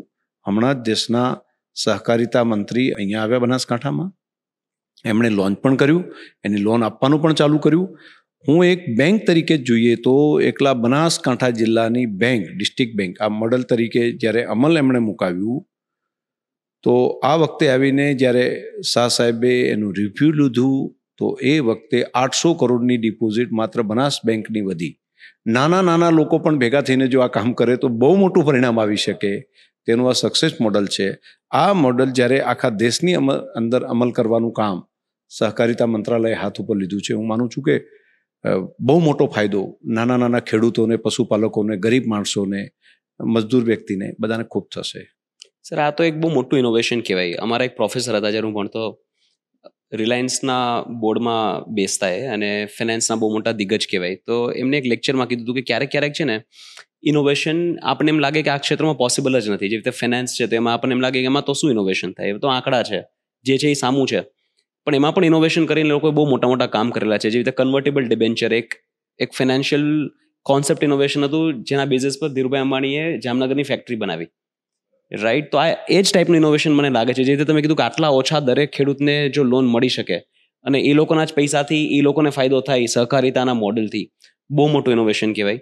અને આની તો નોંધ લેવાવી જોઈએ વિશ્વ સ્તરે નોંધ લેવાવી જોઈએ કે this is like true Indian model જે વિશ્વગુરુ તરફ ભારત જઈ રહ્યું છે એમાં એક બહુ મોટું ઘટક બની શકે. બિલકુલ સાચી વાત છે. ભારતના નાણાં ભારતની અંદર જ રહે. આપણું આપણા જે પૈસા, કોઈ નાનકડું એક કાર્ડ ફોરેનની એક કંપનીનું આપણે ઘસીએ છીએ. તો આપણને લાગે કે એનું આપણે કાર્ડ લીધું છે. કાર્ડ લીધું એવું નહીં. એમાંથી એક ટ્રાન્ઝેક્શન થાય છે. એમાંથી બે ટકા, બે પૈસા, પાંચ પૈસા દુનિયાની બેંકોમાં પહોંચી જાય છે. દુનિયાની પાસે પહોંચે છે. એની જગ્યાએ અહીંયા રૂપે કાર્ડથી આ કામ થઈ શકતું હોય. આપણા નાનકડા કાર્ડથી આપણા ભારતના જ આપણા કાર્ડથી સહકારિતા થતું, એ નાણાં બધા આપણા દેશની અંદર જ રહે. એટલે દેશની સ્ટ્રેન્થ વધશે અને બહાર ઉડિયામણ વિદેશોની અંદર જતું રહે, તો એ ઓલ ઓવર તો લોસ આપણા દેશને જ થતો હોય છે. તો આ એક સહકારિતાનું માળખું ભલે એની ગતિ ધીમી લાગતી હશે, પરંતુ ભારતને સશક્ત બનાવવા માટેનું કામ, ભારતના લોકોને સશક્ત બનાવવાનું લાંબા ગાળાનું એક મજબૂત કહેવાય એવું પગલું છે અને સહકારિતા મંત્રાલયના માધ્યમથી મોદી સાહેબે આ પ્રમાણના કામને આગળ વધારવાનું કામ હાથ ઉપર લીધું છે. સર, મારી ટીમ સાથે વાત કરતો હતો અને અત્યારે આપણે જે વાત વાત કરીએ છીએ ને તો મારો એ વિચાર વધારે સુદર્ધ થાય છે કે તમે લોકો જે કામ કરો છો આટલું ડિટેલમાં જઈને કામ કરો છો. It takes a load of hard work મતલબ એવું નથી કે બધું કામ કોઈ કરી લેવાનું છે. કોઈએ તો વિચારવું પડશે. જમીની સ્તર પર એ વસ્તુનું ઇમ્પ્લિમેન્ટેશન કરવું પડશે. તો એવું અમે લોકો વાત કરતા હતા કે આ જ લીડરો અગર પોતે બિઝનેસમેન હોત, તો આ બધાની બહુ મોટી મોટી કદાચ લિસ્ટેડ કંપનીઓ હોત. આપણે તમારી વાત કરીએ કે અમિતભાઈ શાહની વાત કરીએ કે માનનીય વડાપ્રધાન મોદી સાહેબની વાત કરીએ. પણ they all chose to do this for the nation તમારા કેસમાં તમે સહકારી મંડળી સભાસદો માટે, જે સભ્યો માટે તમે કામ કરો છો. તો તમને શું મળે છે? એઝ અ ચેરમેન ઓફ એનો બનાસ ડેરી, એવો શું બેનિફિટ મળે છે કે ઘણીવાર એવું થાય કે આટલું જ કામ મારા પોતાના બિઝનેસ માટે કરું તો બિઝનેસ ક્યાંય પહોંચી જાય? તમારું મોટિવેશન શું છે? હેપીનેસ મળે છે, સંતોષ મળે છે. માણસ સુખની જે વ્યાખ્યા કરતા હોય છે, એમાં પ્રત્યક્ષ રીતે જો થોડું અંતર્મુખી થઈને જોઈશું, તો સુખ માટેની માણસની કલ્પનાઓ શું શું હોય? તો કેટલાક મનનું સુખ જુએ, કેટલાક ધનનું સુખની કલ્પના કરે, કેટલાક બુદ્ધિના સુખની કલ્પના કરે. પરંતુ આત્માનું સુખ છે, એ હેપીનેસથી મળતું હોય છે. બીજા લોકોને, નાના કોઈ માણસને આપણા માધ્યમથી મદદ કરી શકીએ અને એ એની જે ખુશી હોય છે, એ અદ્ભુત હોય છે. જન્મવું બાળકો મોટા કરવા, એ તો પ્રાણી, પંખી અને મનુષ્ય બધા કરે છે. પરંતુ એ બીજાના ભલા માટેનો વિચાર નથી કરી શકતા. ઈશ્વરે એકમાત્ર મનુષ્યને એ સમજણ આપી છે તું માત્ર પોતાના માટે નહીં, બીજાના માટે પણ તું જીવી શકે છે. અને બીજાના માટે જે જીવવાનો સંકલ્પ કરીને જે લોકો જીવતા હોય છે, એને જે અનુભૂતિ થતી હોય છે, એ અલગ પ્રકારની અનુભૂતિ હોય છે. એ રોજે રોજ કંઈક, તમે આ ભાવ વધારો જ્યારે અમે આપીશું ને, જ્યારે પશુપાલક માતાબેનને એમ લાગતું હોય કે મને પાંચ ટકા મળશે, કે ચાર ટકા મને નફો મળશે અને એની જગ્યાએ એને લાગે દસ ટકા મળી ગયો, પંદર ટકા જેટલો ભાવ વધારો મળી ગયો. અને એ વખતે એને જે ખુશી થતી હોય છે ને, કે મારા માટે કોઈક તો ચિંતા કરે છે. કે હું મારા ઘરમાં બેઠો પણ હું મારા માટે બીજા કોઈ ચિંતા કરીને મને નફો કમાઈને આપવાનું કામ કરી આપે છે. હવે કુદરત આપણને આવડો મોટો સ્કોપ આપે છે. તો હું માનું છું કે આ જે હેપીનેસ છે, એ અદ્ભુત હોય છે. રહી વાત, આપે જે વાત કરી કે તમને શું મળે, તો એનો એક આનંદ મળે. બાકી પોતાની કંપની કરીને, પોતાનું કામ કરીને, પોતાની કંપનીને શ્રેષ્ઠ કરી શકાય, મોટી બનાવી શકાય. પરંતુ એનો લાભ લાખો લોકોને ન આપી શકાય. લાખો પરિવારોની અંદર દીવો પ્રગટાવવાનું કામ એના માધ્યમથી ન થઈ શકે. એ માત્ર પોતાના બાળકો માટે કરી શકાય, પોતાના સંતાનો માટે કરી શકાય, પોતાની વેલ્થ વધારવા માટે કરી શકાય. પરંતુ લાખો પરિવારોની વેલ્થ વધારી શકાય. નાના નાના લોકોને મદદરૂપ કરી શકાય. આ કામ આના કારણે થઈ શકે. ખરેખર બહુ મોટી વાત છે, સર. સર, તમે અંતરના સુખની વાત તો કરી કે સેટિસ્ફેક્શન મળે, પણ કાંઈક તો મોનિટરી હોવું જોઈએ. તો જેમ પ્રાઇવેટ કંપનીના સીઈઓઝને પગાર મળતા હોય, કરોડોમાં એ લોકોની સેલરી હોય, બીજા ઘણા બધા બેનિફિટ્સ હોય મોસ્ટલી બધું કંપની તરફથી હોય, એમનું રહેવાનું ટ્રાવેલિંગ બધું. એવું કાંઈક તો હશે કે જે આવડી મોટી ડેરી જેનું અઢાર હજાર કરોડ ટર્નઓવર છે ને એના તમે ચેરમેન છો, તો નાણાકીય રીતે શું ફાયદો હોય? નાણાકીય કોઈ સહકારિતાની અંદર પણ જે એનો ચેરમેન હોય એને ભથ્થું મળે. મિટિંગ જે બોર્ડ મિટિંગમાં જાય તો એના માટે પણ એનું ભાડું ભથ્થું બને મળતું. એને ગાડી મળે અને બાકી પણ સ્ટાફની વ્યવસ્થા એના માટે હોય, અને ડ્રાઈવર એ બધું મળતું હોય. એ ટીએડીએ પણ એને મળતા હોય છે. આવી સહકારી કાયદાની અંદર જોગવાઈ કરવામાં આવી છે. એમાં કોઈ પગાર નથી મળતો હોતો, પણ ટીએડીએ અને ભથ્થું અને ગાડી એ મળતી હોય છે.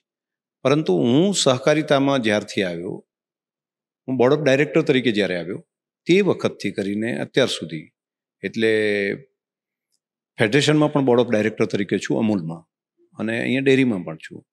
પરંતુ પહેલાં જ દિવસથી નક્કી કર્યું કે હું કોઈ ભથ્થું નહીં લઉં, હું ડેરીની ગાડી નહીં વાપરું, ગાડીના ડ્રાઈવર પણ નહીં વાપરું, કે કે જે મિટિંગમાં જાઉં છું તો ત્યાં મળતું જે બધું છે એ પણ નહીં લઉં ટીએડીએ પણ નહીં લઉં. એ પહેલા દિવસથી સ્વયં સેલ્ફ પોતે નક્કી કરેલો સંકલ્પ હતો. તો બોર્ડ ઓફ ડાયરેક્ટર તરીકે હું ચેરમેન બન્યો એ પહેલાં આવેલો હતો. તો એ વખતે પણ ક્યારેય નથી લીધું ભથ્થું કે ભાડું કે ગાડી કે એવું કંઈ. આજે પણ નથી કરતો. એટલા માટે મારી પાસે ગાડી છે, મારી પાસે વ્યવસ્થા છે. મારે જે જોઈએ એ મારી પાસે છે. મારા કરતાં વધારે નાના નાના લોકોને જરૂરિયાત વધારે છે. જે લાખો પશુપાલકો છે, એને વધારે જરૂરિયાત છે. તો એની અંદરથી હું બધું ન લઈ શકું, એની અંદરથી હું ટીએડીએ ન લઈ શકું, એની અંદરથી હું ગાડી ન ચલાવી શકાય. આ વાત એક સંકલ્પ તરીકે પોતાના આત્મસંતોષ માટે કરીને પહેલેથી જ નિર્ણય કર્યો હતો અને સંકલ્પ આજે પણ બાર ચૌદ વર્ષ જેટલો સમય થઈ ગયો, આજે પણ એ ચાલે છે અને ઈશ્વરની કૃપા છે કે આ સંકલ્પની અંદર આગળ વધવા માટેની મન પણ આપ્યું અને એ પ્રમાણેની ઈશ્વરે શક્તિ પણ આપી. કદાચ એટલા માટે જ આ લેવલનું કામ થાય છે. મારું એવું માનવું છે કે ઘણીવાર નિસ્વાર્થપણે જે કામ થાય ને, એ સામેથી કંઈ મળવાની આશા હોય એના કરતાં વધારે જ સારું થાય. કારણ કે જ્યારે તમને સામેથી કંઈ મળતું હોય ત્યારે ઓલવેઝ કમ્પેરિઝન હોય. મને કેટલું મળે છે, હું સામે કેટલું આપું છું. પ્રાઇવેટ સેક્ટરમાં આવી વાતો થતી હોય. અને આ તો સેવા ભાવે કામ થાય છે, નિસ્વાર્થપણે કામ થાય છે. એટલા માટે જ પ્રોબ્લી આ લેવલે બનાસ ડેરીનું કામ થાય છે. ખરેખર સરાહનીય છે. ભક્તિના ભાવ સાથે કરીએ છીએ ને, તો આત્મસંતોષ જે મળે છે, એ નાણાંમાં ન હોય. એનું મૂલ્યાંકન ન કરી શકાય. એ જે સુખ મળે છે, ઈશ્વર એના કરતાં અનેક જગ્યાએથી અનેક ઘણું આપી દે છે. જે આ ભાવ સાથે કામ કરીએ છીએ ને તો કુદરત એની ચિંતા કરે છે. તું બીજા માટે ચિંતા કરે છે તો હું તારી ચિંતા કરીશ, એમ ભગવાન કરે છે. એટલે ફળની આશા રાખ્યા સિવાય નિષ્કર્મ જે ભક્તિ કરેલી હોય તો ફળ તો ઈશ્વર આપે જ છે. એની એની વ્યવસ્થા એણે કરેલી છે. બસ એના ઉપર શ્રદ્ધા રાખીને કામ કરીએ. તો બીજા માટે જો આપણે કરીએ છીએ તો આપણી ચિંતા ઈશ્વર કરે છે. અને મારા કરતાં પણ વધારે ચિંતા કરવાવાળો ઈશ્વર છે. તો માણસ પોતે ચિંતા કરે, એના કરતાં નિયતિ જ્યારે વધારે મદદ કરતી હોય, તો માનું છું કે માણસના મનનું કારણ છે. જો એક વખત સંકલ્પબદ્ધ બનીને કામ કરે, તો સો ટકા પરિણામ સારું મળી શકે. સાચી વાત છે. તમે ઉલ્લેખ કર્યો કે જે નાના નાના લોકો, જે પશુપાલકો કે જે ખરેખર આ લાભના હકદાર છે તમારા હિસાબથી, તો આપણે એની થોડી વાતો કરીએ કે મંડળીના કે ડેરીની સક્સેસ માટે પશુપાલકો ખુશ હોવા અને એમનો વિકાસ થવો બહુ જરૂરી છે. તો મારી રિલેશનશિપ સમજવી છે કે ડેરી અને પશુપાલકો વચ્ચેની રિલેશનશિપ કેવી હોય લોકોનું વર્કિંગ મોડલ કેવું હોય, એ અગર તમે બ્રીફલી સમજાઈ શકો તો. પશુપાલક અને ડેરી, મેં તમને પહેલાં જે વાત કરી, પણ થ્રી ટાયર છે. માળખું એક ફેડરેશન બીજું ડેરી, જિલ્લાની એટલે સંઘ અને ત્રીજું ગામની મંડળી અને એની સાથે જોડાયેલા પશુપાલક. એક માત્ર દૂધ ભરાવવું અને એની સાથેનો વ્યવહાર બનાસ ડેરીએ નથી રાખ્યો. એણે અનેક રીતે કામ કર્યા છે. કે ભાઈ અહીંયા પાણી નથી, તો ઘણા લાગે પાણી એ આપણી સમસ્યા નથી. પણ હા, પાણી પણ આપણી સમસ્યા છે. પાણી વધારે હશે તો ઘાસચારો થશે, તો ગાય ભેંસને પીવા મળશે. અહીંયા ઝાડ ઓછા હોય તો વૃક્ષ વાવવા એ પણ અહીંનું એન્વાયરમેન્ટ સારું બનશે, તો અહીંયા વરસાદ વધારે આવશે, તો એના કારણે વ્યવસાય થશે. અહીંયા ગાય ભેંસ માત્ર દૂધ આપે અને દૂધ લઈને પૂરું કરીએ નહીં, એની હેલ્થની ચિંતા કરવી. ગાય ભેંસની હેલ્થની ચિંતા કરવી. એ પણ ડેરીનું જ કામ છે એવું અમે સમજીએ છીએ. એટલે અમે બસો પચાસથી વધારે એમ્બ્યુલન્સ વાહન સાથે, જેમ માણસ માટે એકસો આઠની વ્યવસ્થા હોય ને, તો એવી એકસો આઠ જેવી જ વ્યવસ્થા એમ્બ્યુલન્સની ગાય ભેંસ માટે કરી છે. અને એક બે નહીં, અમારા આખા જિલ્લાની અંદર થઈને પચાસ એમ્બ્યુલન્સ કદાચ માણસો માટે નહીં હોય, માણસોની સંખ્યા પચાસ લાખથી વધારે છે. પરંતુ અમારા ત્રીસ લાખની સંખ્યાની જે છે, અમારી ગાય ભેંસની છે, એના માટે અઢીસોથી વધારે અમારી એમ્બ્યુલન્સ તૈયાર છે. એટલે તમે સમજતા હશો કે માણસ કરતાં પણ વધારે કેર લેવાનું, ગાય, ભેંસ માટેનું ડેરી કરી રહી છે.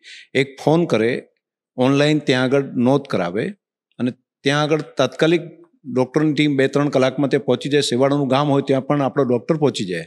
એની ટ્રીટમેન્ટ કરીને એની સારવાર અપાવે સારવાર અપાવ્યા પછી પણ એની કેર લેવામાં આવે ભાઈ, હવે તમારી ગાય, ભેંસને કેવું છે? અને ફોન કરીને ડેરી પૂછે. તો ડેરી અને પશુપાલક બંને એક પારિવારિક ભાવથી જોડાઈ ગયા છે. એને લાગે કે કોઈ પશુપાલકનું ગાય, ભેંસ બીમાર પડી છે તો એ ડેરીને લાગે કે પશુપાલકનું નહીં, અમારું છે તો એ એક આખો ભાવ. અને ડેરીની અંદર પણ દરેક પશુપાલકને એવું લાગે છે કે આ ડેરી અમારી ડેરી છે. એ ડેરીનું કોઈ નુકસાન જતું હોય તો એને પોતાને લાગે કે મારું નુકસાન છે એટલે દાખલા તરીકે બીજી જગ્યાએ ક્યાંક એડલ્ટેશનના કે આવી બાબતો આવતી હોય તો પ્રમાણ અહીંયા ઓછું છે. એને લાગે કે નહીં, આપણી ડેરી છે ને, એની અંદર કોઈ ભેળસેળ કરે. તો એ બાબત ઠીક નથી. એ નુકસાન આપણું પોતાનું નુકસાન છે એવું દરેક પશુપાલક સમજે છે. અને અહીંયા કેટલીક જગ્યાએ તો એવી પણ બાબત થાય કે કોઈ જે ભેળસેળ કર્યું હોય ને, દૂધની અંદર પાણી નાખ્યું હોય કે કંઈ એડલ્ટેટ કર્યું હોય, તો એને ત્યાં દીકરી આપવાનું કામ ન કરે. લોકો એવું સમજે કે આને ઘરે દીકરી ન અપાય. કેમ? એનો મા બાપ દૂધમાં ભેળસેળ કરે છે. તો દીકરો કુંવારો રે એવી સ્થિતિ થઈ શકે. તો આ જે જન્મત બન્યો છે ને, એ એ એક અલગ પ્રકારનો છે. એટલે આ સંયુક્ત રીતે વિચારવાનો જે વિચાર કર્યો અને સંયુક્ત રીતે આપણો વ્યવસાય આપણે ઊભો કરીએ, એ જે કલ્પના કરી, તેથી કરીને અહીંયા સુધી પહોંચ્યા છીએ. અને જ્યાં સુધી આ સંયુક્તપણાનો ભાવ રહે, જ્યાં સુધી પોતાનાપણાનો ભાવ રહેશે, ત્યાં સુધી આ સહકારી માળખું ઓર આગળ વધશે, ઓર આગળ અને પરિણામો પણ મળતા થશે. રાઈટ રાઈટ તમે આ મેડિકલ સાયની વાત કરી, જે ચિકિત્સા પશુઓ માટે. હું પેલો વીડિયો જોતો તો એમાં એક બેન બોલે છે કે, મોટા ભાગે એવું થાય કે અગર કોઈ પશુ માંદું પડ્યું હોય, તો અમે કોલ કરીએ અને અડધીથી એક કલાકની અંદર તો ડૉક્ટર આવી જાય છે. વધી વધીને ત્રણ કલાક, પણ ત્રણ કલાકમાં સોલ્યુશન સેમ ડે મળી જાય એટલે મળી જ જાય. અને આવા આવા બીજા ઘણા બધા કામો થાય છે. આપણે અગર સારી નસ્લ માટેની વાત કરીએ, તો એની માટે મતલબ એમ્બ્રિયો ટ્રાન્સપ્લાન્ટની જે ટેકનોલોજી ઉપર કામ થયું છે કે પછી એક સિમેન્ટ બેંક બનાવી છે. તો એ એ વિશે થોડી ચર્ચા કરીએ કે આપણે બીજા એવા ઇનોવેટિવ સાયન્ટિફિકલી કયા કયા ઇમ્પ્લિમેન્ટેશન કરીએ છીએ? ગાય, ભેંસ વધુ રાખવીથી વધારે દૂધ મળે તેવી માન્યતા સહજ હોય. પરંતુ ગાય, ભેંસ વધારે દૂધ આપે, એના તરફ ધ્યાન દોરવું એ ખૂબ જરૂરી છે. ઇન્ડિવિજ્યુઅલ કોઈ વ્યક્તિ આ કામને ન કરી શકે. એટલે ડેરી તરીકે અમે વિજ્ઞાનનો સહારો લઈને પર કેટલ પ્રોડક્ટિવિટી કઈ રીતે વધે એ માટેનું કામ હાથ ઉપર લીધું. એટલે અમે એઆઈ કરવું વિજ્ઞાન જે કરાવવા માટે પોતે ડોઝ તૈયાર કરવરાયા સારી નસ્લના પાડા અને ખાસ કરીને બુલ અમે પસંદ કર્યા. જેનું દૂધ વધારે હોય અને એની પ્રેડિક્ટીના આધાર ઉપર અમે એને પસંદ કરી એના ડોઝ તૈયાર કરાવરાવ્યા. અને એની સંખ્યા ડોઝ તૈયાર કરવાની સંખ્યા લગભગ અત્યારે અમારી પાસે અંદાજિત ત્રીસ લાખ જેટલા ડોઝ હશે. પર વર્ષે તૈયાર કરવાની અમારી કેપેસિટી, અમારો બુલ સ્ટેશન જે છે, એના દ્વારા થઈ રહ્યું છે. જે ઉચ્ચ ગુણવત્તાવાળું, દાખલા તરીકે અત્યારે પર કેટલ પ્રોડક્ટિવિટી સાડા ત્રણ ચાર લીટર જે હોય દેશની સરેરાશ, તેની સામે અમે ડબલ કરવા જઈ રહ્યા છીએ. અમે વિચારીએ છીએ કે દસ લીટરથી વધુ દૂધ આપતું જે ગાય, ભેંસ હોય, તેનું જ અહીંયા આગળ ડોઝ પહોંચે. તો એમાં પણ બદલાવ બહુ મોટો આવ્યો છે. અત્યારે નેશનલ કક્ષાની જે પ્રોડક્ટિવિટી છે પર કેટલ પ્રોડક્ટિવિટી એમાં એક લીટરથી વધારે બનાસની છે. હવે આવનારા સમયમાં આ કામને હજુ વધારે આગળ વધારવા જઈ રહ્યા છીએ. એક અમે અત્યારે બુલના સિમેન્ટ્સના આધાર ઉપર તેની નસ્લ સારી થાય એ માટેનો પ્રયત્ન કરતા હતા. નવું જે વિજ્ઞાન આવ્યું છે, ખાસ કરીને બ્રાઝિલ જેવા દેશે તેની અંદર બહુ સફળતા મેળવી છે. એ છે એમ્બ્રિયો ટ્રાન્સપ્લાન્ટ ટેકનોલોજી. તો સારી જો મધર હોય, જે રીતે સારો બૂલ હોય તો એના કારણે તો ડોઝ તૈયાર કરીને એનું આગળ વધારી શકાય આનુવાંશિક સુધારણા. પરંતુ સારી મધર હોય તો એમાંથી પણ વધારે ગાયો બનાવી શકાય. તો એક સારી ગાય જો હોય, જે વધારે દૂધ આપતી હોય, એના એક્સ લઈને અમે લેબની અંદર પહોંચાડીએ, એ પરિપક્વ થાય. લેબની અંદર એક વીક સુધી રાખીએ. એમાંથી સક્ષમ જેટલા એગ છે, એનું ફલનીકરણ કરવાનું લેબની અંદર જ કરીએ. અને પછી જ્યારે મેચ્યોર થઈ જાય એક વીકની અંદર એક્સ તો તેનું બીજી ગાયના ગર્ભની અંદર પ્રત્યારોપણ કરીને, જેનું ભલે ને દૂધ ઓછું આપતી હોય, બે બે લીટર કે ચાર લીટરવાળી જ હોય, પરંતુ અમે જે તૈયાર કરેલું જે એક્સ છે, એ ગાયનું દસ લીટર, પંદર લીટર, વીસ લીટર દૂધ આપતી હોય, તો એનું એક્સ એ બીજી ગાયના ગર્ભની અંદર મૂક્યા પછી એની જે વાસળી થાય, તેનું દૂધ જે મૂળ ગાય જે હોય, ત્રીસ લીટર દૂધ આપતી હોય, તો તેના જેવી વાસળી તૈયાર કરી શકાય. આ ટેકનોલોજીને એમ્બ્રિયો ટ્રાન્સપ્લાન્ટ ટેકનોલોજી કહે છે. અત્યાર સુધીમાં બ્રાઝિલ તેને ગીર ગાયો અહીંથી લઈ ગયા. લઈ ગયા પછી ઘણી બધી ગાયો એ લોકોએ તૈયાર કરી.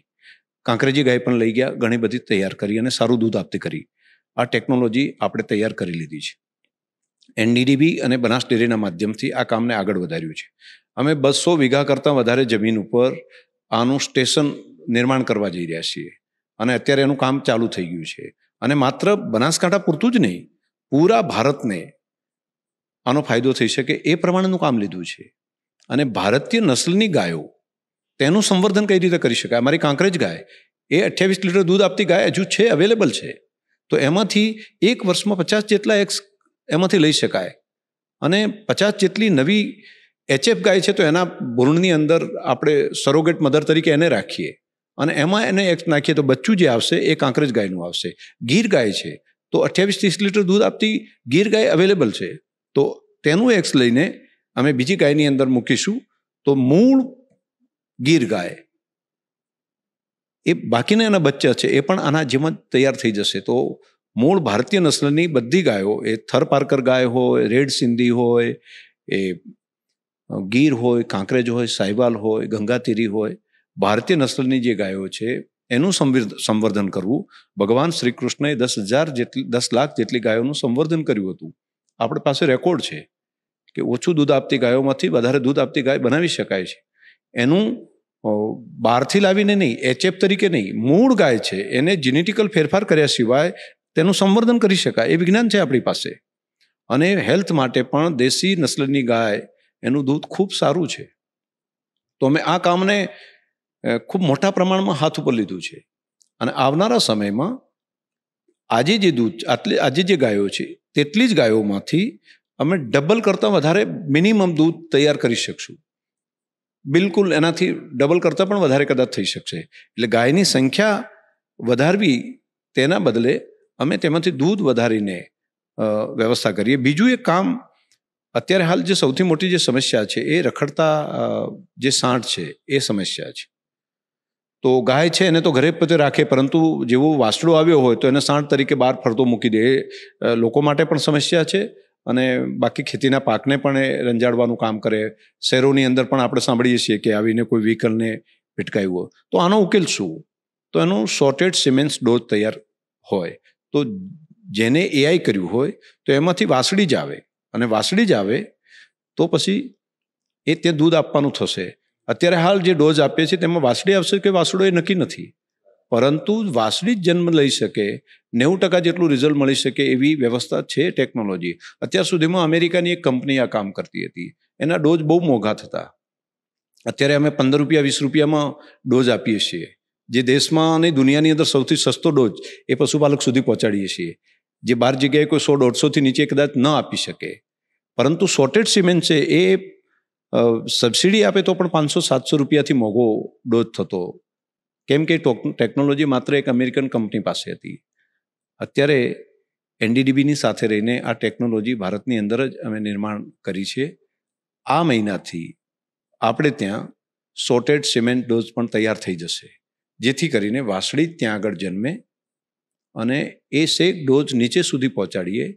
તો રખડતા જે પશુ છે, એની જે સમસ્યા છે, એનો પણ વહન છે, ઉકેલ આ રીતે ટેકનોલોજીના માધ્યમથી લાવી શકાશે. અને એનો ખર્ચ જે છે, એ જે અમેરિકન કંપની છે, એનો જે ડોઝ તૈયાર થાય છે, એના લગભગ દસમા ભાગની અંદર આપણે તૈયાર કરી દઈશું.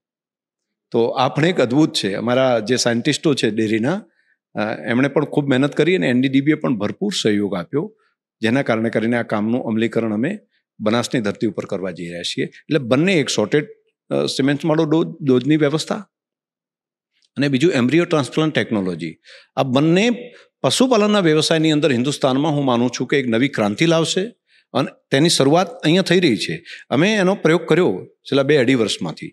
અમે એચએફ ગાયની અંદર આની એમ્બ્રિયો કાંકરેજી ગાયની મૂકી. એમાંથી વાસળીઓ જન્મી. એ પ્યોર કાંકરેજી વાસળીઓ જન્મી છે. કેમ કે એનો મધર અને ફાધર બંને જીન્સ અહીંના જ હતા. એને ખાલી સરોગેટ મધર તરીકેનું કામ એચએફ ગાયમાં કર્યું. તો જે એચએફ ગાયો વધી છે આખા દેશની અંદર અને દેશી નસ્લની ગાયો ઓછી છે, તો એચએફ ગાયને સરોગેટ મધર તરીકેનું કામ કરીએ અને એમ્બ્રિયો જે છે એ દેશી ગાયની ઉચ્ચ ગુણવત્તાવાળી જે ગાયો છે, એની એમ્બ્રિયો એની અંદર મૂકીએ, તો એક વર્ષમાં એક સારી ગાયમાંથી પચાસ જેટલી વાસળી તૈયાર થઈ શકે. આમ જનરલી વિચાર કરતા હોય છે કે એક વર્ષમાં એક જ બચ્ચાનો જન્મ થાય, પરંતુ આ ટેકનોલોજીના માધ્યમથી એક સારી ઓલાદમાંથી પચાસ જેટલી વાસળી તૈયાર થઈ શકે. અને મોટા પ્રમાણની અંદર દેશી ગાયનું સંવર્ધનનું કામ એ આપણે કરી શકીએ. એ કામને હાથ ઉપર લીધું છે. અને અમારું સંકુલ જે નવું તૈયાર થઈ રહ્યું છે ભારતનું એક આધુનિક સંકુલ હશે, જેની અંદરથી દસ હજાર ગાયો આ પ્રમાણેની દર વર્ષે તૈયાર થઈ શકે. એ પ્રમાણનું સંકુલ આપણે ત્યાં જ બનાસની અંદર તૈયાર થઈ રહ્યું છે. ભારત સરકારે પણ એની અંદર ખૂબ સારો સહયોગ આપ્યો છે. વાહ, સર ખરેખર અદ્ભુત વાત છે. આ અમુક પગલાઓ સાંભળવામાં બહુ નાના લાગે, પણ એના પરિણામો બહુ જ મોટા હોય. પશુ એ દેશનું ધન કહેવાય અને ભગવાને સૌથી વધારે ધન બનાસકાંઠાને ભારતમાં આપેલું છે. અને એવું કહે ને કે ભગવાન ધન એને જ આપે જે સાચવી શકે કે જે એનો વ્યવસ્થિત રીતે ઉપયોગ કરી શકે. સાચું ધન પશુધન એટલે શબ્દ જ એની પાસે ધન લાગતો પશુધન હા. અને તમે એ ધનની માત્રા અને ગુણવત્તા બેઉમાં વધારો કરો છો એટલે ખરેખર બહુ સરાહનીય વાત છે. પર્યાવરણની વાતો કરીએ તમે પર્યાવરણ પ્રેમી છો અને બધાને ખબર છે તમારી કોઈ સોશિયલ મીડિયા પ્રોફાઇલ ખોલીને જો તો તરત ખબર પડે કે નહીં પર્યાવરણને પ્રેમ કરો છો અને ઘણા બધા કેને પર્યાવરણલક્ષી પર્યાવરણ લક્ષી તમે કામો પણ કર્યા છે. તો થોડી એની વાતો કરી કે પર્યાવરણ પ્રત્યે આટલો બધો પ્રેમ શું કામ? અને એવા કયા કયા ઇનિશિયેટિવ્સ છે કે જેની સાથે અત્યારે તમે જોડાયેલા છો? જે આ માત્ર શંકરભાઈનું કામ છે એવું નથી. આ દરેક મનુષ્ય આ કામ એન્વાયરમેન્ટની રક્ષા કરવાનું કામ આપણે કરવું જોઈએ. પ્ર- પ્રકૃતિની રક્ષા જો જે કરશે તો પ્રકૃતિ આપણું રક્ષણ કરશે. અને પ્રકૃતિનો વિનાશ જો મનુષ્ય કરશે, તો મનુષ્ય પોતે જીવી નહીં શકે. આ એક આખું ચક્ર છે, ઇકો ચક્ર છે. કોરોનાના સમયની અંદર જ્યારે ઓક્સિજન ખૂટી ગયો ને, તે દિવસે ધ્યાનમાં આવ્યું હશે બધાને કે અરે, આ વૃક્ષ છે તો ફ્રી ઓફ આપણને ઓક્સિજન આપે છે. પરંતુ આપણને એની કિંમત નહોતી. એ બાટલામાં લઈ અને જ્યારે તરફડતા હોતા અને જ્યારે પૈસા આપતા પણ ન મળે ને ઓક્સિજન, તે વખતે ધ્યાનમાં આવ્યું. કે વર્ષોથી આ વૃક્ષો તો ફ્રી ઓફ આપતા હતા, પરંતુ એ વૃક્ષોનું જતન કરવાનું કામ માનવોએ કેટલું કર્યું? મનુષ્ય તરીકે આપણે કેટલું કર્યું? તેને બદલે તેને કાઢી નાખવાનું કામ કર્યું. તો કોનું નુકસાન કર્યું? માત્ર વૃક્ષોને કાઢી નાખ્યા તેવું નહીં. માનવતા અને સજીવ સૃષ્ટિનું પણ નુકસાન કર્યું. તેનાથી અલગ રીતે ઈશ્વરે આપણને મન આપ્યું, બુદ્ધિ આપી, શક્તિ આપી, સમજણ આપી. તો પ્રકૃતિનું સંવર્ધન કરવાનું કામ આપણે ન કરીએ તો કોણ કરે? બીજું આખી દુનિયા બગડી જે છે તેની ચિંતા કરવાની જગ્યાએ કંઈક આપણે એક એક જગ્યાએ તો કંઈક સારું કરીએ. બધી જગ્યાએ વાત કરીએ કે દેખો અંધેરા ઘના હૈ, લેકિન દીપ જલાના કહા મના હે? તો હું જ્યાં છું ત્યાં એક વિસ્તાર તો એવો કરું કે જેની અંદર એ હરિયાળો હોય. એક વિસ્તાર તો એવું કરું કે જે જીવી શકાય એવું હોય, જે પંખીઓને, પ્રાણીઓને, જીવજંતુને બધાને જીવવા માટેનો અધિકાર હોય. એટલા માટે છેલ્લા દસ વર્ષથી એક અભિયાન તરીકે વૃક્ષોનું વાવેતર કરવાનું અમે લીધું. ડેરી તરીકે પણ, વ્યક્તિગત રીતે પણ અમે અને લોકોને પણ જોડ્યા. અનેક સંસ્થાઓ પણ આની અંદર કામમાં લાગી ગઈ છે. અને ખેડૂતો પણ પોતાના ખેતરના સેઢા ઉપર પહેલાં જે વૃક્ષોને કાઢી નાખતા હતા, તમે હવે બનાસકાંઠાના કોઈ પણ ખૂણાની અંદર જઈને જોશો તો દસ વર્ષના વૃક્ષો તમને ઢગલા બંધ કરોડોની સંખ્યામાં જોવા મળશે. અવેરનેસ પણ આવી છે. ખેડૂતો પોતે પોતાના ખેતરના સેઢા ઉપર ઝાડને કાપી નથી નાખતા, એને બચાવે છે, એને રાખે છે, એનું સંરક્ષણ કરે છે. એનું વાવેતર કરે છે. અને એક એક વિસ્તાર આખો હરિયાળો થઈ શકે. પર્વતોની અંદર પણ બનાસકાંઠાનો એક પૂર્વ પટ્ટીનો પ્રદેશ છે, એ બધો પર્વતાળ એરિયા છે. ત્યાં પણ ઘણા બધા ઝાડ ઓછા થઈ ગયા હતા. અમે સીડ બોલના માધ્યમથી છેલ્લા વર્ષોમાં એક અભિયાન લીધું. માટી અને છાણનો ગોળો બનાવવો, એને સૂકવવો, તેની અંદર ડેરીમાંથી અમે સીડ્સ આપીએ. લોકો પોતે સીડ્સ બોર્ડ બનાવે. કોઈ પણ ખર્ચ વગર પોતે જાતે મહેનત કરે, ખાલી અમારે સીડ્સ આપવાનું, બિયારણ આપવાનું, એ બનાવીને રાખે, ઉનાળામાં બહેનો બેસીને બધા ગોળા બનાવે અને એ ગોળા તૈયાર કરીને સીડ બોલને અમે જ્યારે વરસાદની સિઝન આવવાની હોય ને ત્યારે બધા ભેગા મળીને હજારોની સંખ્યામાં પર્વતો ઉપર પહોંચીએ અને ત્યાં જઈને એને સીડ બોલને નાખવાનું, દાટીને આવીએ. જો હાઇટ ઉપર જે હોય ને જે ન પહોંચી શકાય હોય, ત્યાં અમે ડ્રોનનો પણ ઉપયોગ કરીએ. અને નીચે બધા કોદાળીને લઈને પહોંચીએ, હું પણ જાતે જાઉં છું. અનેક યુવાનો આ કામની અંદર જોડાયા, અનેક સંસ્થાઓ પણ જોડાઈ છે. અને છેલ્લા કેટલાક વર્ષોના પરિણામ જે અમે જોયા છે, આખો એરિયા, આખો હરિયાળો થતો અને એવું બિલકુલ દેખાઈ રહ્યું છે. સેડ બોલ ત્યાં નાખીને આવ્યા, પ્રકૃતિએ વરસાદ આપ્યો, એની અંદરથી તૈયાર થયેલું કુંપળ, છોડ બનીને અત્યારે ઝાડ પણ બની રહ્યા છે. તો એક સંતોષ થઈ શકે, એની અસર પણ થઈ છે. તેની અસર એ થઈ કે જે વિસ્તારની અંદર વૃક્ષો વધારે થયા, વરસાદ પણ ધીમે ધીમે પ્રકૃતિએ પણ જાણે આશીર્વાદ ઉતાર્યા હોય ને તેવું અમને લાગી રહ્યું છે. વૃક્ષારોપણનું કામ ખાલી ખેતરના શેઢે કે જંગલની અંદર પર્વ, પર્વતો ઉપર કરીએ એટલું નહીં. જે જગ્યાની માલિકી વ્યક્તિની ન હોય, એ ગામની શાળા, ગામનું સમસાન ગોચર ત્યાં આગળ મંદિર, તો બધી જગ્યા ઉપર એક અભિયાન તરીકે લોકોએ લીધું છે. તમે બનાસકાંઠામાં જોશો તો નાના નાના વન અનેક સંસ્થાઓએ ગામના લોકોએ ભેગા મળીને ડેરીના સહયોગથી વૃક્ષો અમે આપવાનું ક્યાંક કામ કર્યું હોય ફોરેસ્ટ ડિપાર્ટમેન્ટે કામ કર્યું હોય, બધાએ ભેગા મળીને એક અભિયાન તરીકે કામ લીધું. હજારોની સંખ્યામાં વન બનાસની ધરતી ઉપર તૈયાર થઈ રહ્યા છે. અને હું માનું છું કે એક આજે સૌથી સૂકો પ્રદેશ જે ગણાતો આપણો બનાસકાંઠા જિલ્લો, હું માત્ર દસ વર્ષની અંદર કહું છું કે રાજ્યના સૌથી હરિયાળા પ્રદેશની અંદર બનાસનું નામ હશે. આ એક આપણી નજર સામે આપણે જોયું. અને આપણે જ આપણી નજર સામે જ આપણું સપનું એક સાકાર થયેલું જોઈએ. તો એનાથી વધારે સંતોષ બીજો કયો હોઈ શકે? મારે તો બનાસકાંઠાને ગુજરાતના ઓક્સિજનના ફેફસા બનાવવા છે. એટલો ઓક્સિજન મોટા પ્રમાણમાં મળતો હોય કે આવનારી પેઢીઓને શાંતિથી હવા લેવી હોય, ઓક્સિજન લેવો હોય, તો બનાસની ધરતી ઉપર આવીને ઓક્સિજન લઈ શકે એવો જિલ્લો બનાવવો છે અને એ થઈ થઈ શકશે. મને પાકો ભરોસો છે. લોકોએ જે પ્રમાણે અભિયાનને ઉપાડ્યું છે, તે પ્રમાણે સો ટકા પરિણામ મળશે. સર પર્યાવરણની વાત કરી તમારા ચહેરા પર એક અલગ ચમક આવી ગઈ. એટલે પર્યાવરણ પ્રેમી તો તમે છો જ. મને ગમતું કામ છે. મને સંતોષ થાય. મને માં વૃક્ષની અંદરમાં જગદંબાનું સ્વરૂપ દેખાય છે. મને એની અંદર પ્રકૃતિનું સ્વરૂપ દેખાય છે. હું એક વૃક્ષની કુંપળો ફૂટતી જોઉં છું ત્યારે લાગે છે કે હા આ આ જ ઈશ્વર છે. અને આ જ પ્રકૃતિનું સ્વરૂપ છે. અને એક એ અનુભૂતિની બાબત છે. હું મારા ખેતરની અંદર પણ હજારો વૃક્ષોની વચ્ચે રહું છું. અને જે ઊર્જા મને મળે છે અંદરથી, પ્રત્યક્ષ અનુભવી શકું છું. ખુલ્લા પગે ચાલવાથી જે ધરતીની અંદરથી ઊર્જા મળે છે, જે સૂર્યની પ્રકાશની અંદર રહેવાથી ઊર્જા મળે છે, જે થાકેલા હોય ને ઉપર પાણી નામવાથી જળનો સ્પર્શ થવાથી જે ઊર્જા મળે છે, એવી જ ઊર્જા વૃક્ષની સાથે રહેવાથી મળે છે. તો ઉર્જાનો સ્તોત્ર માત્ર અનાજ નથી. ઉર્જાનો સ્તોત્ર સૂર્ય પણ છે, ધરતી પણ છે, વૃક્ષો પણ છે, પાણી પણ છે. તો પંચ મહાભૂતોની વાત જે આપણે કરીએ છીએ ને, એને જો અનુભવીએ ને, તો એ અનુભૂતિ થાય છે અંદરથી. અને એ અનુભવ, અનુભૂતિ હું કરી રહ્યો છું. મને પ્રત્યક્ષ રીતે વૃક્ષોની અંદરથી એક નવી ઊર્જા મળે છે. એની નીચે બેસવાથી અદ્ભુત શક્તિ મળે છે. સિમેન્ટ કોન્ક્રીટના જંગલની અંદર રહીએ, એ અનુભૂતિ કદાચ નહીં કરી શકાય. એના માટે કેટલાક દિવસ જો જંગલમાં ત્યાં આગળ રહીએ, વૃક્ષોમાં ખેતરમાં રહીએ, તો એ સંતોષ, એ શક્તિ, એ ઊર્જા અલગ છે. એ અનુભવવાની બાબત છે. માત્ર કહેવાથી નહીં સમજી શકાય. પ્રત્યક્ષ રીતે સિમેન્ટ કોન્ક્રીટના જંગલ છોડીને રિયલ જંગલની અંદર, રિયલ વૃક્ષોની સાથે જો રહેવાનો થોડા દિવસનો પણ અનુભવ કરીએ ને, તો એ અનુભવી ચોક્કસ મળશે. સો ટકા. અને સર અમે તો બનાસકાંઠા જ આવશું અનુભવ કરવા માટે. હા બિલકુલ અને અહીંયા વાવેતર પણ કરજો. સો ટકા સો ટકા. સર તમે સદગુરુજી સાથે સેવ સોઇલ જે એમનું ઇનિશિયેટિવ છે કેમ્પેન છે એની સાથે જોડાયેલા છો અને તમને ગુજરાતના brand ambassador save soil campaign માટે એમને બનાવેલા છે તો એના વિશે થોડી વાત અગર તમે કરી શકો એ શું છે એ પ્રોજેક્ટ અને એમાં શું કામ થાય છે? આ બધા કામો એકબીજાની સાથે જોડાયેલા છે. સદગુરુએ માટી બચાવો અભિયાન હાથ ઉપર લીધું અને એ બનાસકાંઠામાં આવ્યા અને એમણે આખી વાત બધાને સમજાવી કે માટી બચેલી હશે તો તેના ઉપર અનાજ પાકશે, તેના ઉપર વૃક્ષ થશે. અને બીજી વાત, માટીનું સ્તર તો ઘણું બધું નીચે સુધી છે, શેખ. પરંતુ ઉપરનું જે કેટલાક દસ બાર ઇંચનું લેયર છે તેના ઉપર જ વૃક્ષ બની શકે, અનાજ પાકી શકે અને એ જ માનવતા અને જીવસૃષ્ટિને સજીવન રાખવાનું કામ કરે છે. તો એની કાર્બન ક્ષમતા જો ઘટી જાય, તો એની જીવંતતા ઘટી જશે અને દુનિયાભરની અંદર માટીની જીવંતતા ઘટી રહી છે.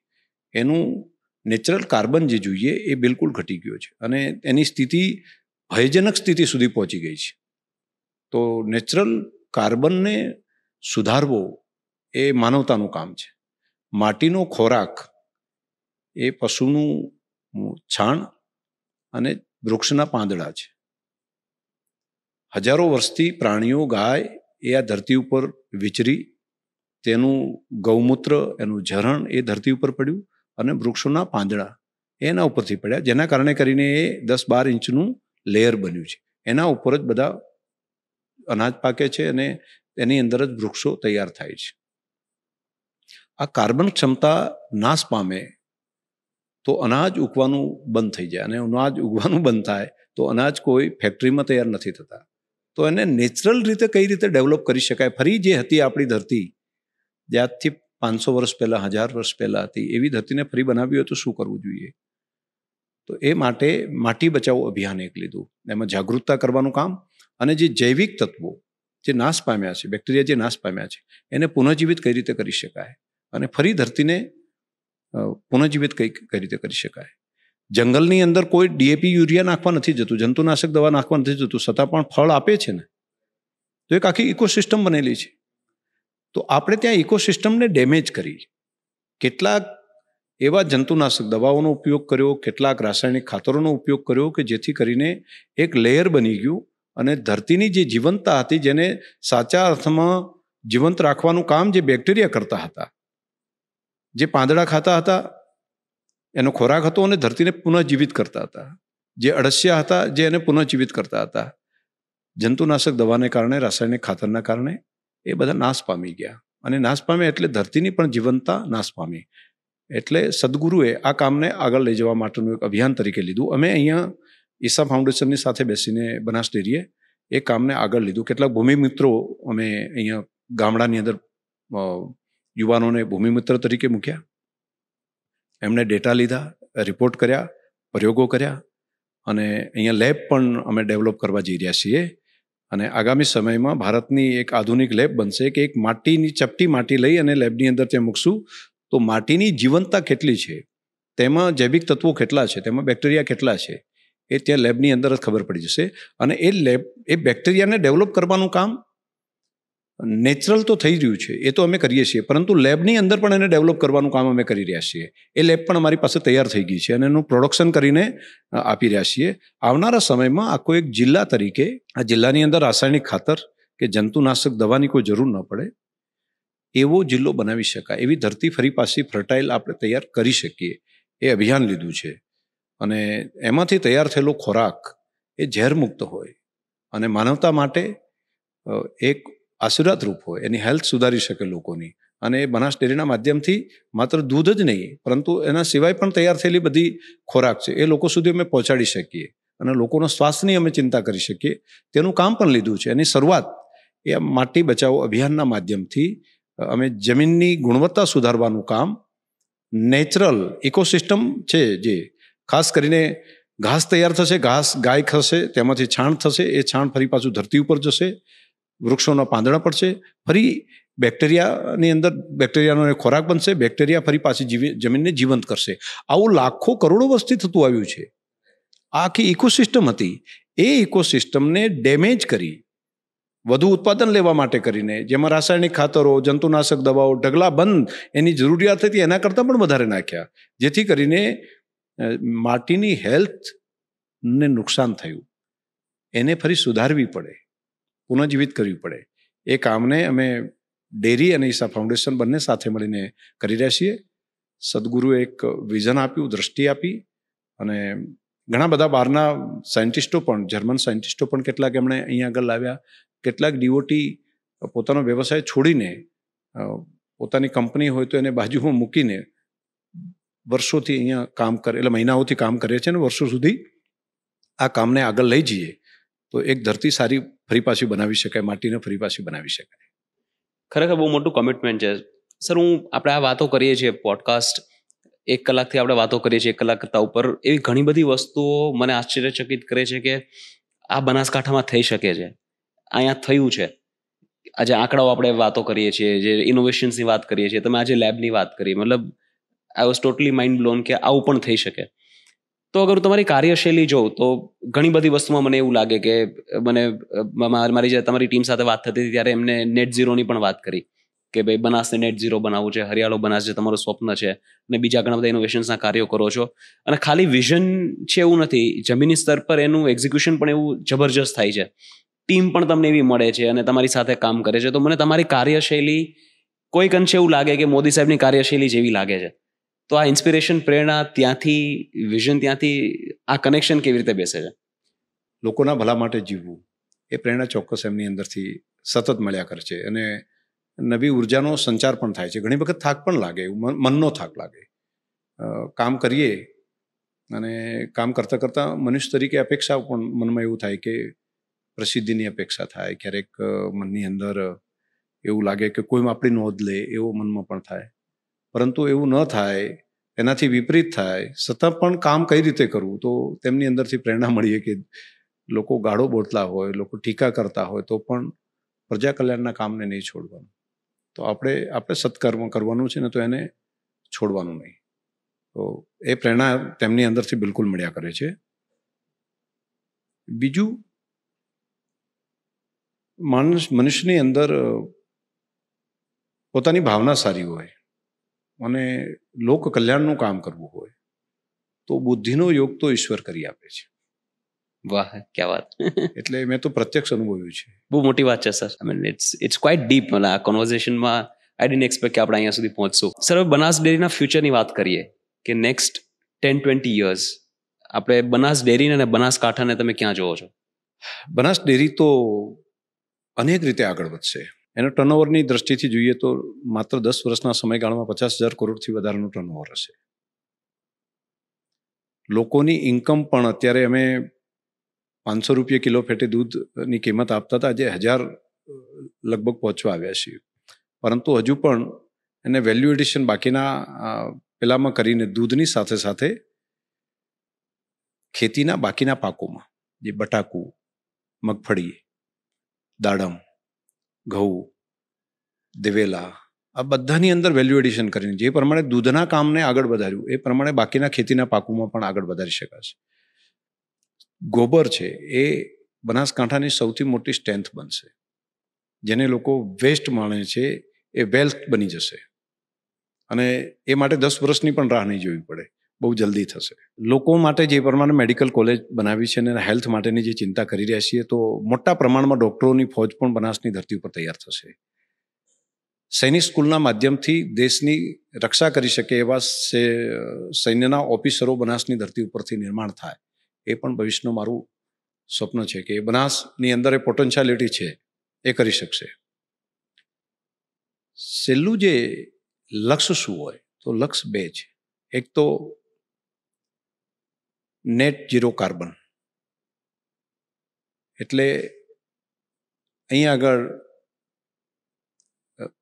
પોલ્યુશન કોઈ પ્રકારનું ના હોય. અમારી ગાડી ડીઝલ પેટ્રોલના બદલે ગોબરના બાયો સીએનજીમાંથી ચાલતી હોય. અમારે અહીંયા જંતુનાશક દવા કે રાસાયણિક ખાતરોની જરૂર ના પડે. નૈસર્ગિક જે ગાય, ભેંસના છાણમાંથી તૈયાર થયેલું જે અમે ખાતર બનાવી રહ્યા છીએ, એના આધાર ઉપર આખો જિલ્લો ચાલતો હોય. અને અહીંયા તૈયાર થયેલું અનાજ કોઈ પણ ખેતીનો પાક એ ઝેર મુક્ત હોય. એ માનવતા અને જીવસૃષ્ટિ માટે એક આશીર્વાદરૂપ હોય.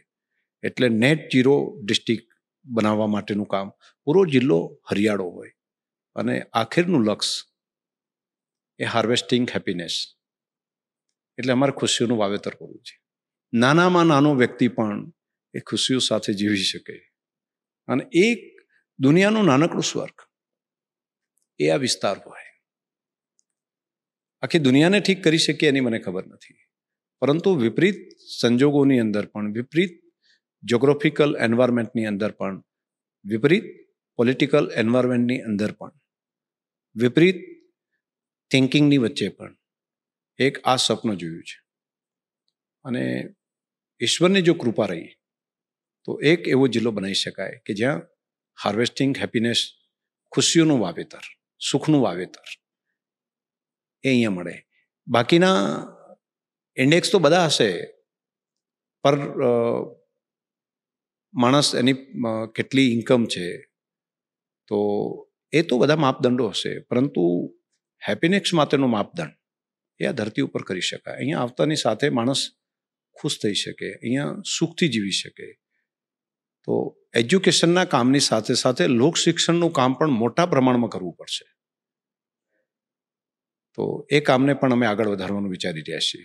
તો આવનારા સમયમાં મારું જે સપનું છે એ માત્ર ઇકોનોમિકલ નહીં ઇકોનોમિકલ તો બિલકુલ આપણે એ દિશા સુધી પહોંચીશું. શિક્ષણની દ્રષ્ટિથી પણ પહોંચીશું. એક વ્યસનની સમસ્યાઓ જે કેટલીક છે એ વ્યસન મુક્ત પણ જિલ્લાને બનાવવો પડે. જો અમારે હેપીનેસ સુધી પહોંચવું હોય તો વ્યસન મુક્ત પણ જિલ્લો આખો બનાવવો પડે. તો એ પણ લોક શિક્ષણ સિવાય એ શક્ય નથી. અનેક લોકોના સહયોગ સિવાય એ બાબત સહયોગ શક્ય નથી. તો જો આ કામ કરતા જઈએ, તો આપણી નજર સામે જ સ્વર્ગની જે કલ્પનાઓ જે કરી હોય, તો સ્વર્ગ એટલે શું? આકાશમાં સ્વર્ગ છે એવું નહીં. બસ આપણી ધરતી ઉપર એક નાનકડી તો શરૂઆત કરીએ અને એની શરૂઆત પોતાનાથી કરીએ. અને એ શરૂઆત અમે એક જિલ્લા તરીકે તો એક કર્મયોગી તરીકે કરી છે. અનેક લોકોનો સહયોગ મળી રહ્યો છે. આ જ પ્રમાણે કામ ચાલશે તો મને ભરોસો છે. What a thought sir definitely possible છે. મારો જે બીજો કે ત્રીજો સવાલ હતો કે આ મોટિવેશન પ્રેરણા આ ક્યાંથી આવે છે? કે આ લેવલ પર કામ કરવું I think harvesting happiness is the answer sir Banas ગુજરાતની બહાર પણ એક્સપાન્ડ થઈ રહ્યું છે. સાત કે આઠ સ્ટેટમાં એક્સપાન્ડ ઓલરેડી થઈ ચૂક્યું છે. તો મારે જાણવું છે કે એનું કારણ શું? આપણે બીજા સ્ટેટમાં શા માટે જઈએ છીએ? ગુજરાત આટલું મોટું સર્વ કરવા માટે આપણી પાસે છે અને બનાસ ડેરી અહીંયા બેઝ છે, તો એની પાછળનું લોજિક મારે સમજવું છે. જે બનાસકાંઠા જિલ્લો, ખાસ કરીને બનાસ ડેરી, લગભગ એસી લાખથી એક કરોડ લીટર સુધી પહોંચવા જઈ રહી છે દૂધ પર ડેનું બનાસકાંઠા જિલ્લામાં અને ગુજરાતમાં તેનું માર્કેટ એ માત્ર બે અઢી લાખ લીટર છે.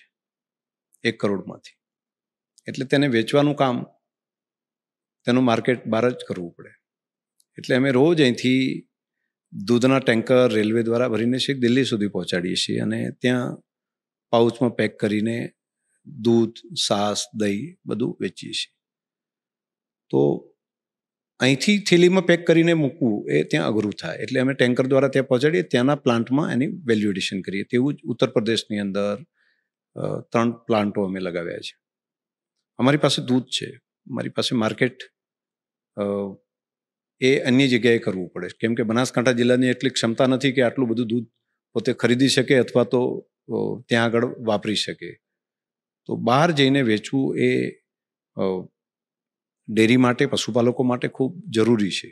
એટલે અમે અલગ અલગ રાજ્યોની અંદર એના પ્લાન્ટ નાખીએ છીએ. ત્યાં દૂધ પહોંચાડીને ત્યાંથી પણ થોડું દૂધ લઈએ. અહીંથી દૂધ પહોંચાડી અને બંનેને ભેગા કરીને માર્કેટમાં વેચવા માટેની વ્યવસ્થા ત્યાં આગળ કરીએ છીએ. તો પહેલાં અમે, હું જ્યારે બે હજાર ચૌદમાં આવ્યો ત્યારે બાર લાખ લીટર પર ડેની ફ્રેશ પ્રોડક્ટ અમારી અહીંથી વેચાતી હતી. આજે લગભગ પિસ્તાલીસથી પચાસ લાખ સુધી અમે પહોંચ્યા છીએ. એ એક્સપાન્શન કર્યું અને ત્યાં માર્કેટ ઊભું કર્યું. તો માર્કેટની વ્યવસ્થા ફેડરેશન કરે, અમે ત્યાં આગળ પ્લાન્ટ લગાવ્યો અને આજુબાજુના એરિયામાં ત્યાં વેચવાનું કર્યું. એટલે માર્કેટિંગ કરવું અને પહોંચાડવું વસ્તુને એ જરૂરી છે. કેમ કે અહીંયા અમારી પાસે એટલા લોકો નથી કે જ્યાં જે વાપરી શકે અથવા તો અહીંયા વેચી શકાય. તો વેચવાનું કામ એ આઉટ સ્ટેટમાં અને આઉટ કન્ટ્રીમાં જ કરવું પડે. તો જ બનાસનું આટલું દૂધ એ અમે બાકી જગ્યાએ વેચી શકીએ ને એને સમયસર પૈસા આપવાનું કામ અમે કરી શકીએ. એવું કહી શકાય કે બનાસ ડેરી બનાસ માટે બનાસની બહાર જઈ રહી છે. હા જી એટલે એક આઠ મંડળીઓમાંથી અત્યારે આઠ રાજ્યોની અંદર બનાસ ડેરી પહોંચી છે. અને ફ્યુચરની અંદર વૈશ્વિક કક્ષાએ પણ અમે અન્ય દેશોની અંદર પણ આ માર્કેટ શોધી રહ્યા છીએ કે આવનારા સમયમાં બનાસના પશુપાલકોએ તૈયાર કરેલું દૂધ, એની પ્રોડક્ટ એ આંતરરાષ્ટ્રીય માર્કેટમાં અત્યારે વેચવાનું ચાલુ કર્યું. અમે સિંગાપુર દુબઈ બધી જગ્યાએ અહીંથી પહોંચાડીએ છીએ. ટેટાપેક બાકીનું ઘી, બધી વસ્તુઓ. પરંતુ હજુ અનેક જગ્યાએ એનું એક્સપાન્શન કરવાનું વ્યવસ્થા અમે કરી રહ્યા છીએ. અને તો જ અને માર્કેટ નહીંતર શું દૂધ ઉત્પાદન કરવાનું તો ઘણું બધું અહીંયા તૈયાર થઈ જાય છે. પરંતુ માર્કેટ એને વેચવું અને તેના પૈસા પરત લાવવા એ એ બહુ મોટો પડકાર હોય છે. અને સમયસર એને ચૂકવવા. નહીતર પછી બધી વસ્તુ અહીંયા ભરાવ થઈ જ જાય. પાવડર પણ મોટા પ્રમાણમાં ભરાવ થાય.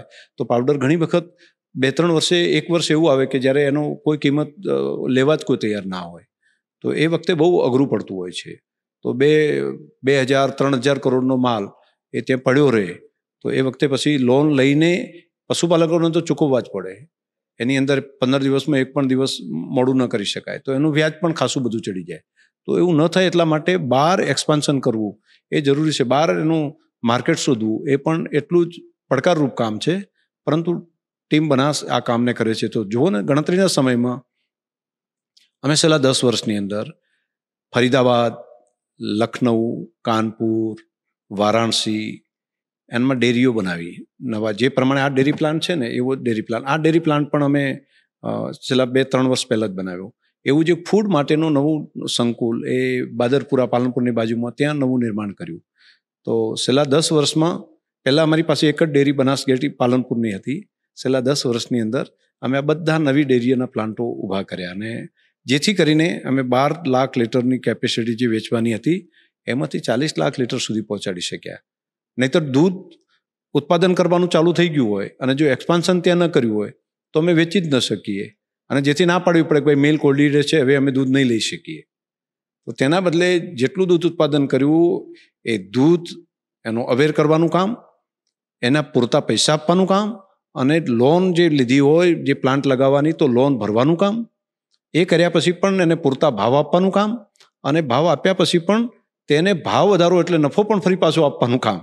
આ કન્ટિન્યુટી એક સાથે કરી શક્યા દસ વર્ષમાં. એમ માનું છું કે અનેક લોકો પણ દુનિયાભરમાંથી આવીને સ્ટડી કેસ તરીકે જુએ છે. કે આવું કઈ રીતે થઈ શક્યું? પરંતુ એ સંયુક્ત રીતે મળીને કર્યું તો તેનું પરિણામ મળી શક્યું. અને હું આ બધી સફળતાની પાછળ જો કોઈ ટીમનું કામ, અમારું બોર્ડની એકરૂપતા, એ તો છે જ. પરંતુ સૌથી મોટું કામ હોય તો પશુપાલકોનું પુણ્ય. એ બધાનો સરવાળો થઈને આ સફળતા સુધી પહોંચ્યા છે સર આટલા બધા ડેરીના સારા સારા કામો થાય છે. ઘણા બધા માળખાકીય સ્ટ્રક્ચરલ કામો કે જે આખી ઇન્ડસ્ટ્રીને ચેન્જ કરી શકે એવા કામો પણ થાય છે. છતાં પણ ઘણા લોકો ટીકા પણ કરે છે. તો આ ટીકાઓ શા માટે થાય છે? એવું તો શું છે? એ વાત તમારી સાચી છે. પરંતુ એ ટીકા કરવાવાળા મોટાભાગના જે ડેરી સાથે જોડાયેલા નથી તેવા લોકો કરતા જેને ડેરીની ખબર નથી જેને કોઓપરેટિવની ખબર નથી જે ગાય ભેંસ પોતાને ત્યાં નથી. એનો લાભ શું મળે છે એની જાણકારી નથી હોતી. એટલે આખી દુનિયામાં પોતાના મનની અંદર જે વિચારો હોય, એ બહાર વ્યક્ત કરી નાખે છે. એટલે એક હું સમજુ છું કે જાણકારીનો અભાવ હો તેના કારણે પણ કેટલાક લોકો એની ટીકા કરતા હોય અને કેટલાક પોલિટિકલી એજન્ડા સાથે પણ હોય કે પોલિટિકલ એજન્ડા સિદ્ધ કરવા માટે પણ તેની ચર્ચા કરતા હોય. બાકી અનેક વખત એની આ કારણ આના કારણે નિરાશા પણ આવતી હોય છે મનની અંદર. મનમાં પણ એવું થાય કે આટલું કામ કર્યા પછી પણ શું કામ આ લોકો આપણી ટીકા કરતા હોય? આવું મનમાં ભાવ આવે. પરંતુ ફરી લોકોની વચ્ચે જ્યારે જઈએ, પશુપાલક માતાઓ, બહેનોને મળીએ અને તે જે ખુશ થઈને આશીર્વાદ આપે છે ને, તેના કારણે ફરી કામ કરવા માટેનો ઉત્સાહ બનતો હોય છે. પણ એ વાત સાચી છે કે કેટલાક માત્ર પોલિટિકલ એજન્ડા સાથે આ સહકારી પ્રવૃત્તિને ન સમજવાને કારણે, જાણકારીના અભાવના કારણે તેની ટીકા પણ કરતા હોય છે. હા, ટીકા કોઈએ કરી હોય તો તેમાં જો કોઈ ત્રુટી હોય તો હું તો એને પણ પોઝિટિવ લઉં છું કે તેમણે આપણી કંઈક ખામી કાઢીને આપી, એને આપણે ઠીક કરીએ. પરંતુ જાણતા હોય, તો પણ જાણકારી હોય છતાં પણ ઈરાદાપૂર્વક કહેતા હોય, તો પછી એની પ્રત્યે અમે ધ્યાન દેવાનું બંધ કરીએ છીએ. હવે એમનો તો એજન્ડા જો આ પ્રમાણેનો બનેલો હોય, તો પછી એ પોતાનું કામ કરે, આપણે આપણું કામ કરીએ. આપણે તેના તરફ ધ્યાન દેવાની જગ્યાએ લોક કલ્યાણના કામની અંદર આપણે લાગી જઈએ અને એ જ ઈશ્વરની પૂજા છે અને એની અંદરથી નવી ઊર્જા મળશે, નવી શક્તિ મળશે. સર, હરેક બિઝનેસમાં એક ટાઈમ એવો આવે કે ક્યારેક બહુ ચેલેન્જિંગ લાગે કે હવે અહીંયાથી આગળ કેવી રીતે જશું? કે આ ચેલેન્જ ખરેખર સોલ્વ થશે કે નહીં? આઈ એમ શ્યોર તમારી લાઈફમાં પણ એઝ અ ચેરમેન ઓફ આ સંસ્થા આવી આવી ઘણી બધી ઘટનાઓ થતી હશે. તો એવો કોઈ સમય કે જ્યારે તમને એવું લાગ્યું હોય કે હવે આ બહુ અઘરો સમય થઈ ગયો છે, અહીંયાથી બહાર નીકળવું બહુ અઘરું છે, એવી કોઈ ઘટના? અનેક વખત આવું થાય છે. એક વખત નહીં એમ, અનેક વખત એવી સમસ્યા આવી, પરંતુ કોઈને કોઈ રીતે ઈશ્વર મદદ કરી દે છે, એવું મને તો લાગે છે. એટલે મેં એક શબ્દ વાપર્યો હતો, પશુપાલક દોનારીઓનું પુણ્ય. એટલે દૂધ દોનારીઓનું પુણ્ય. હું પહેલી વખત ચેરમેન બન્યો એ વખતે ખૂબ મંદી, એ પહેલાં જ વર્ષે ખૂબ મોટા પ્રમાણમાં મંદી આવી ને પાવડરનો જથ્થો અમારી પાસે બહુ મોટા પ્રમાણમાં થઈ ગયો. અને અગાઉના વર્ષનો પણ હતો, ત્યારે પણ બેચેલો નહોતો. બીજું વર્ષ પણ એવું મંદીનું વર્ષ આવ્યું કે આંતરરાષ્ટ્રીય માર્કેટમાં પાવડરનો ભાવ બિલકુલ ડાઉન થઈ ગયો કે અમે જે દૂધ લઈએ છીએ એના કરતાં વેચીએ તો લગભગ અડધી કિંમત થઈ જાય. પાવડર બનાવ્યા પછી વેલ્યુ એડિશન કર્યા પછી. આવું ચાર પાંચ વર્ષે એક વર્ષ આવતું હોય છે દૂધના વ્યવસાયમાં. એ જ વર્ષ હતું. હું પણ બિલકુલ નવો હતો. મને આ ડેરી ઇન્ડસ્ટ્રીઝનો બહુ અનુભવ પણ બહુ જાજો હતો નહીં. અને એ પડકારજનક. ત્યારે રાત્રે કેટલાય દિવસો સુધી ઊંઘ ન આવતી કે હું પૈસા કઈ રીતે ચૂકવી શકશું લોકોને? આટલો જથ્થો પડ્યો છે. છતાંય દૂધ આવી રહ્યું છે. અને દૂધ તો બંધ કરી શકાય નહીં. અને હવે બેંકો પણ આટલો સ્ટોક આપણે ત્યાં પડ્યો જ રહેશે, પાવડરનો ભરેલો. તો પછી બેંકો પાસેથી પણ લોન કેટલી કેટલી લેશું આપણે? અને એ વખતે લગભગ પંદરસો કરોડની તો લોન એ ટાઈમે હતી જ. એના ઉપરથી ફરી આ સ્ટોક, એની લોન થાય, તો કેટલો બધો બર્ડન થાય? તો અમે શું કરીશું એમ? તો અનેક દિવસો સુધી એ રાત્રે ઊંઘ પણ ના આવે. અને એમ થાય કે હવે આનો રસ્તો શું કરશું? પરંતુ બસ એ સમય પણ નીકળી ગયો અને એક બે વર્ષ પછી ફરી પાછો સારો સમય ચાલુ થયો. એમાંથી બહાર આવીને મદદ કરી શકે. એવો એક પડકારજનક સમય જે આવ્યો, એ કોરોનાના ટાઈમે આવ્યો. કોરોનાના સમયની અંદર બધી જગ્યાએ લોકડાઉન થઈ ગયું. હવે બનાસકાંઠા જિલ્લાનો તો બધો ધંધો એ દૂધ ઉપર જ. અને ઘરેથી બહાર ન નીકળી શકાય તેવું લોકડાઉન.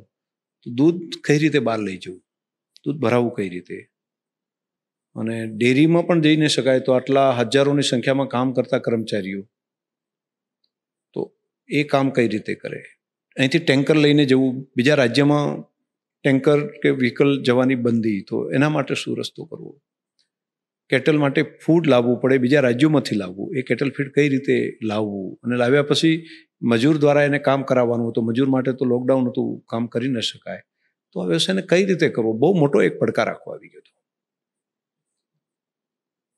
તો એ પડકારજનક સ્થિતિની અંદર અમે કેટલાક સિનિયર અધિકારીઓ સાથે વાત કરી અને પછી નક્કી કર્યું કે હવે શું કરીશું? તો અલગ અલગ સજેશનો બધાના આવ્યા કે આપણે દૂધ અડધું લેવાનું કરી દઈએ. કેટલાક કહ્યું કે હવે બંધ કરીએ. અને દૂધ આટલું વેચવા માટે ઘર સુધી પહોંચાડવાની વ્યવસ્થા એ જ આખી બ્લોક થઈ ગઈ હતી. તો દૂધનું આ ભરાવાનું શું કરવું? બહુ મોટો પડકાર હતો. અને જે કર્મચારીઓ કામ કરી રહ્યા છે એની સેફટીનું શું? એમને પણ પરિવાર છે, બાળકો છે બધા. તો એ બધાને કઈ રીતે યોગ્ય મેન્ટેન કરવું? બહુ અઘરું હતું. અમે કામ કરવાનું ચાલુ રાખ્યું. અમારા ઘણા બધા કર્મચારી અધિકારી એની અંદર એ કોરોનાના અંદર કામ કરતાં કરતાં મૃત્યુ પામ્યા. તો પણ કામને બંધ ન કર્યું. ચેરમેનથી કરી અને આખી ટીમ અમારી રાત દિવસ કામ કર્યું. મંડળીની અંદર પણ અમે સેફ જગ્યા રાખીને બધા દૂધ ભરાવા આવે, ડિસ્ટન્સથી બધા ઊભા રહે. અને માસ્ક પહેરેલા હોય, એના માપદંડ સાથે રોજ આવીને દૂધ ભરાવે, એ દૂધ શેક પહોંચે અને માર્કેટ સુધી પહોંચાડવાનું કામ કોરોનાનામાં કર્યું. એક પણ દિવસ દૂધને બંધ ન થવા દીધું. એની ઇન્કમ જે હતી, બધી ત્યાં ત્યાં ચાલુ રખવરાઈ અને આ પડકારજનક કામ હતું. અને કોવિડના માપદંડો જે હતા, એના લોકડાઉનના તેનું પાલન કરવું આખી ફેક્ટરી ચાલુ રાખવી અને આ બધા પડકારોની વચ્ચે એને પૈસા પણ ના સમયસર ત્યાં સુધી પહોંચી જાય તેવી વ્યવસ્થા કરવી. બહુ મોટો પડકાર હતો. એટલે એ કામને પણ પાર કર્યું. આ જે પ્લાન છે ને, એ પણ કોવિડ દરમિયાન અમે કોવિડ લોકડાઉન ચાલુ થયું ને, એ પહેલાં જ એનું ખાતમુહૂર્ત કર્યું હતું. આ આખો પ્લાન લોકડાઉન દરમિયાન અમે તૈયાર કરી શક્યા. એટલે બધાને ક્વોરન્ટાઇન આની અંદર જ કર્યા હતા. અને અહીંથી કોઈએ બહાર જવાનું નહીં. અહીં રહીને સતત કામ કરવું. બે વર્ષનો જે લોકડાઉન કોવિડ પૂરો થયો ને ત્યારે પ્લાન્ટ તૈયાર થઈ ગયો હતો. સર અહીં તો ક્વોરન્ટાઇન થવાની પણ મજા આવે એવું છે. હા એટલે એ ટાઈમે તો ખાલી ખેતર હતા. હવે તમને મજા આવે એવું સરસ દેખાય છે ને ત્યારે ખેતરો હતા. રાઈટ પરંતુ બધી પૂરી ટીમે કામ કર્યું. કેટલાક અમારે ફોરેનથી લાવવાના હતા ઇક્વિપમેન્ટ અહીંયા મશીનરી. તો એ સમુદ્રની અંદર જ વચ્ચે જ રહી ગયા. એટલે અહીંયા પણ ન ઉતારી શકાય, ત્યાં પણ ન થઈ શકે. અને એને સમયસર લાવવું બહુ અઘરું હતું. ત્યાં જેને બનાવવા માટે ઓર્ડર આપ્યા હતા, એક ત્યાં જ લોકડાઉન થઈ ગયું. યુરોપની અંદર લોકડાઉન થઈ ગયું. એને કઈ રીતે લાવવું? બહુ અઘરા અનેક પડકારો હતા, પરંતુ છેવટે બધું સમયસર થઈ ગયું. અને આ બે વર્ષના સમયગાળામાં પ્લાન્ટ પણ થઈ ગયો. એ સમય દરમિયાન એક પણ દિવસ દૂધ બંધ ન કર્યું અને બધાને પશુપાલકોને દૂધની રકમ આપી શક્યા. એટલે બધા ધંધા બંધ હતા, પરંતુ પશુપાલનનો ધંધો અમે ચાલુ રાખી શક્યા. એક તમને રસપ્રદ બાબત એ પણ કહું કે લોકડાઉનમાં બધા લોકોએ પગાર ઘટાડી દીધા હતા, બધી કંપનીઓ લગભગ. કોઈ અડધા કરી દીધા હતા, બાકી બધા. અમારા કર્મચારીઓ પણ આવ્યા અને એમણે કહ્યું કે બધી જગ્યાએ મંદી છે, વસ્તુ વેચાતી પણ નથી બરાબર. પૂરતા પ્રમાણમાં તો અમે પણ તમને કહીએ છીએ કે તમારે જે કંઈ અમારો પગાર ઓછો કરવો તો કરી શકશો. અમે કહ્યું કે ચલો, પછી બેસીને વિચારીશું, અત્યારે હાલ તો આપણે ચાલુ રાખો. પણ એમણે કામ ન છોડ્યું. કર્મચારી અધિકારીઓએ પોતાના ઘર પરિવાર એમને પણ હતા ને, પણ એમણે એક પણ દિવસ રજા ના પાડી. બધા નિયમિત કામ કરતા રહ્યા. ઇવન મૃત્યુ પામ્યા તો પણ પોતાનું કર્તવ્ય છોડ્યું નહીં. કોવિડ પૂરો થયો ત્યારે અમારું નિયામક મંડળ મળ્યું અને મેં વિચાર કર્યો કે આટલું કામ કરવાવાળા લોકો જેણે જીવના જોખમે પશુપાલકો માટે મહેનત કરી તો આપણે શું કરીએ? તો બધાએ નક્કી કર્યું કે ભલે બધી જગ્યાએ પગાર એક એક ઓછો કર્યો હોય, આ વખતે આપણે આપણા કર્મચારીઓને એક પગાર એક્સ્ટ્રા આપીશું. અને અમે એ એક્સ્ટ્રા પગાર એ કોવિડના સમયની અંદર આપ્યો. કેમ? કે એમણે એક્સ્ટ્રા કામ કરીને એવડું જોખમ લઈને પણ કામ કર્યું હતું. તો દુનિયાની અંદર એક એક પગાર બબે પગાર બધાએ કટ કર્યા હતા. અડધા પગાર કરી દીધા હતા. પરંતુ બનાસ ડેરીમાં અમે એક પગાર એક્સ્ટ્રા આપી શક્યા હતા. એવી અમારી આ ટીમ છે. અને મેં પહેલાં કહ્યું ને કે એમાં એક નવું જનરેશન પણ છે. અનુભવી કર્મચારીઓ, અધિકારીઓ છે. અને પ્લેસમેન્ટ કરવા માટે અમે ત્યાં મૂકીએ છીએ. તો બાકીના બધા પણ પહેલાં પહેલી વખત તો ડેરીની કોઈ વાત કરીએ ને તો આઈઆઈએમમાં જઈએ, આઈઆઈટીમાં જઈએ તો બધા લોકો કરે ડેરીની અંદર.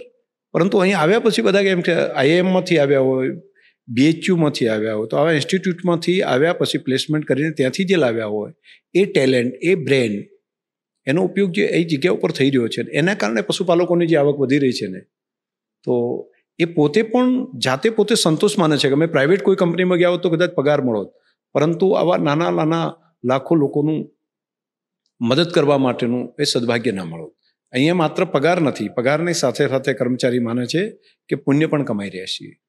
કે આવા અનેક લોકોને મદદ કરવાનું કામ આના માધ્યમથી. કોઈ એક માલિક માટે કામ કર્યું હોત તો માત્ર પગાર જ મળો પરંતુ અહીં તો લાખો લોકો વતી કામ કરવાનું છે, એમના હિત માટે કામ કરવાનું છે. તો અધિકારી કર્મચારી પણ આ પ્રમાણે એ કામને કરે છે. અમારે ત્યાં એક અલગ કલ્ચર ડેવલપ થયું છે. બાકી જગ્યા ઉપર અમારી માગે પૂરી કરવો આ પ્રશ્ન ચાલતો હોય. અમારા કર્મચારી અધિકારી એવું અમારી માગે પૂરી કરો એવું વિષય લઈને નથી બેસતા. એ તો એ બધા ટીમ બનાવીને એમ કે ભાઈ, આ આપણું છે, આપણું પોતાનું છે. એ ભાવ સાથે કામ કરે છે.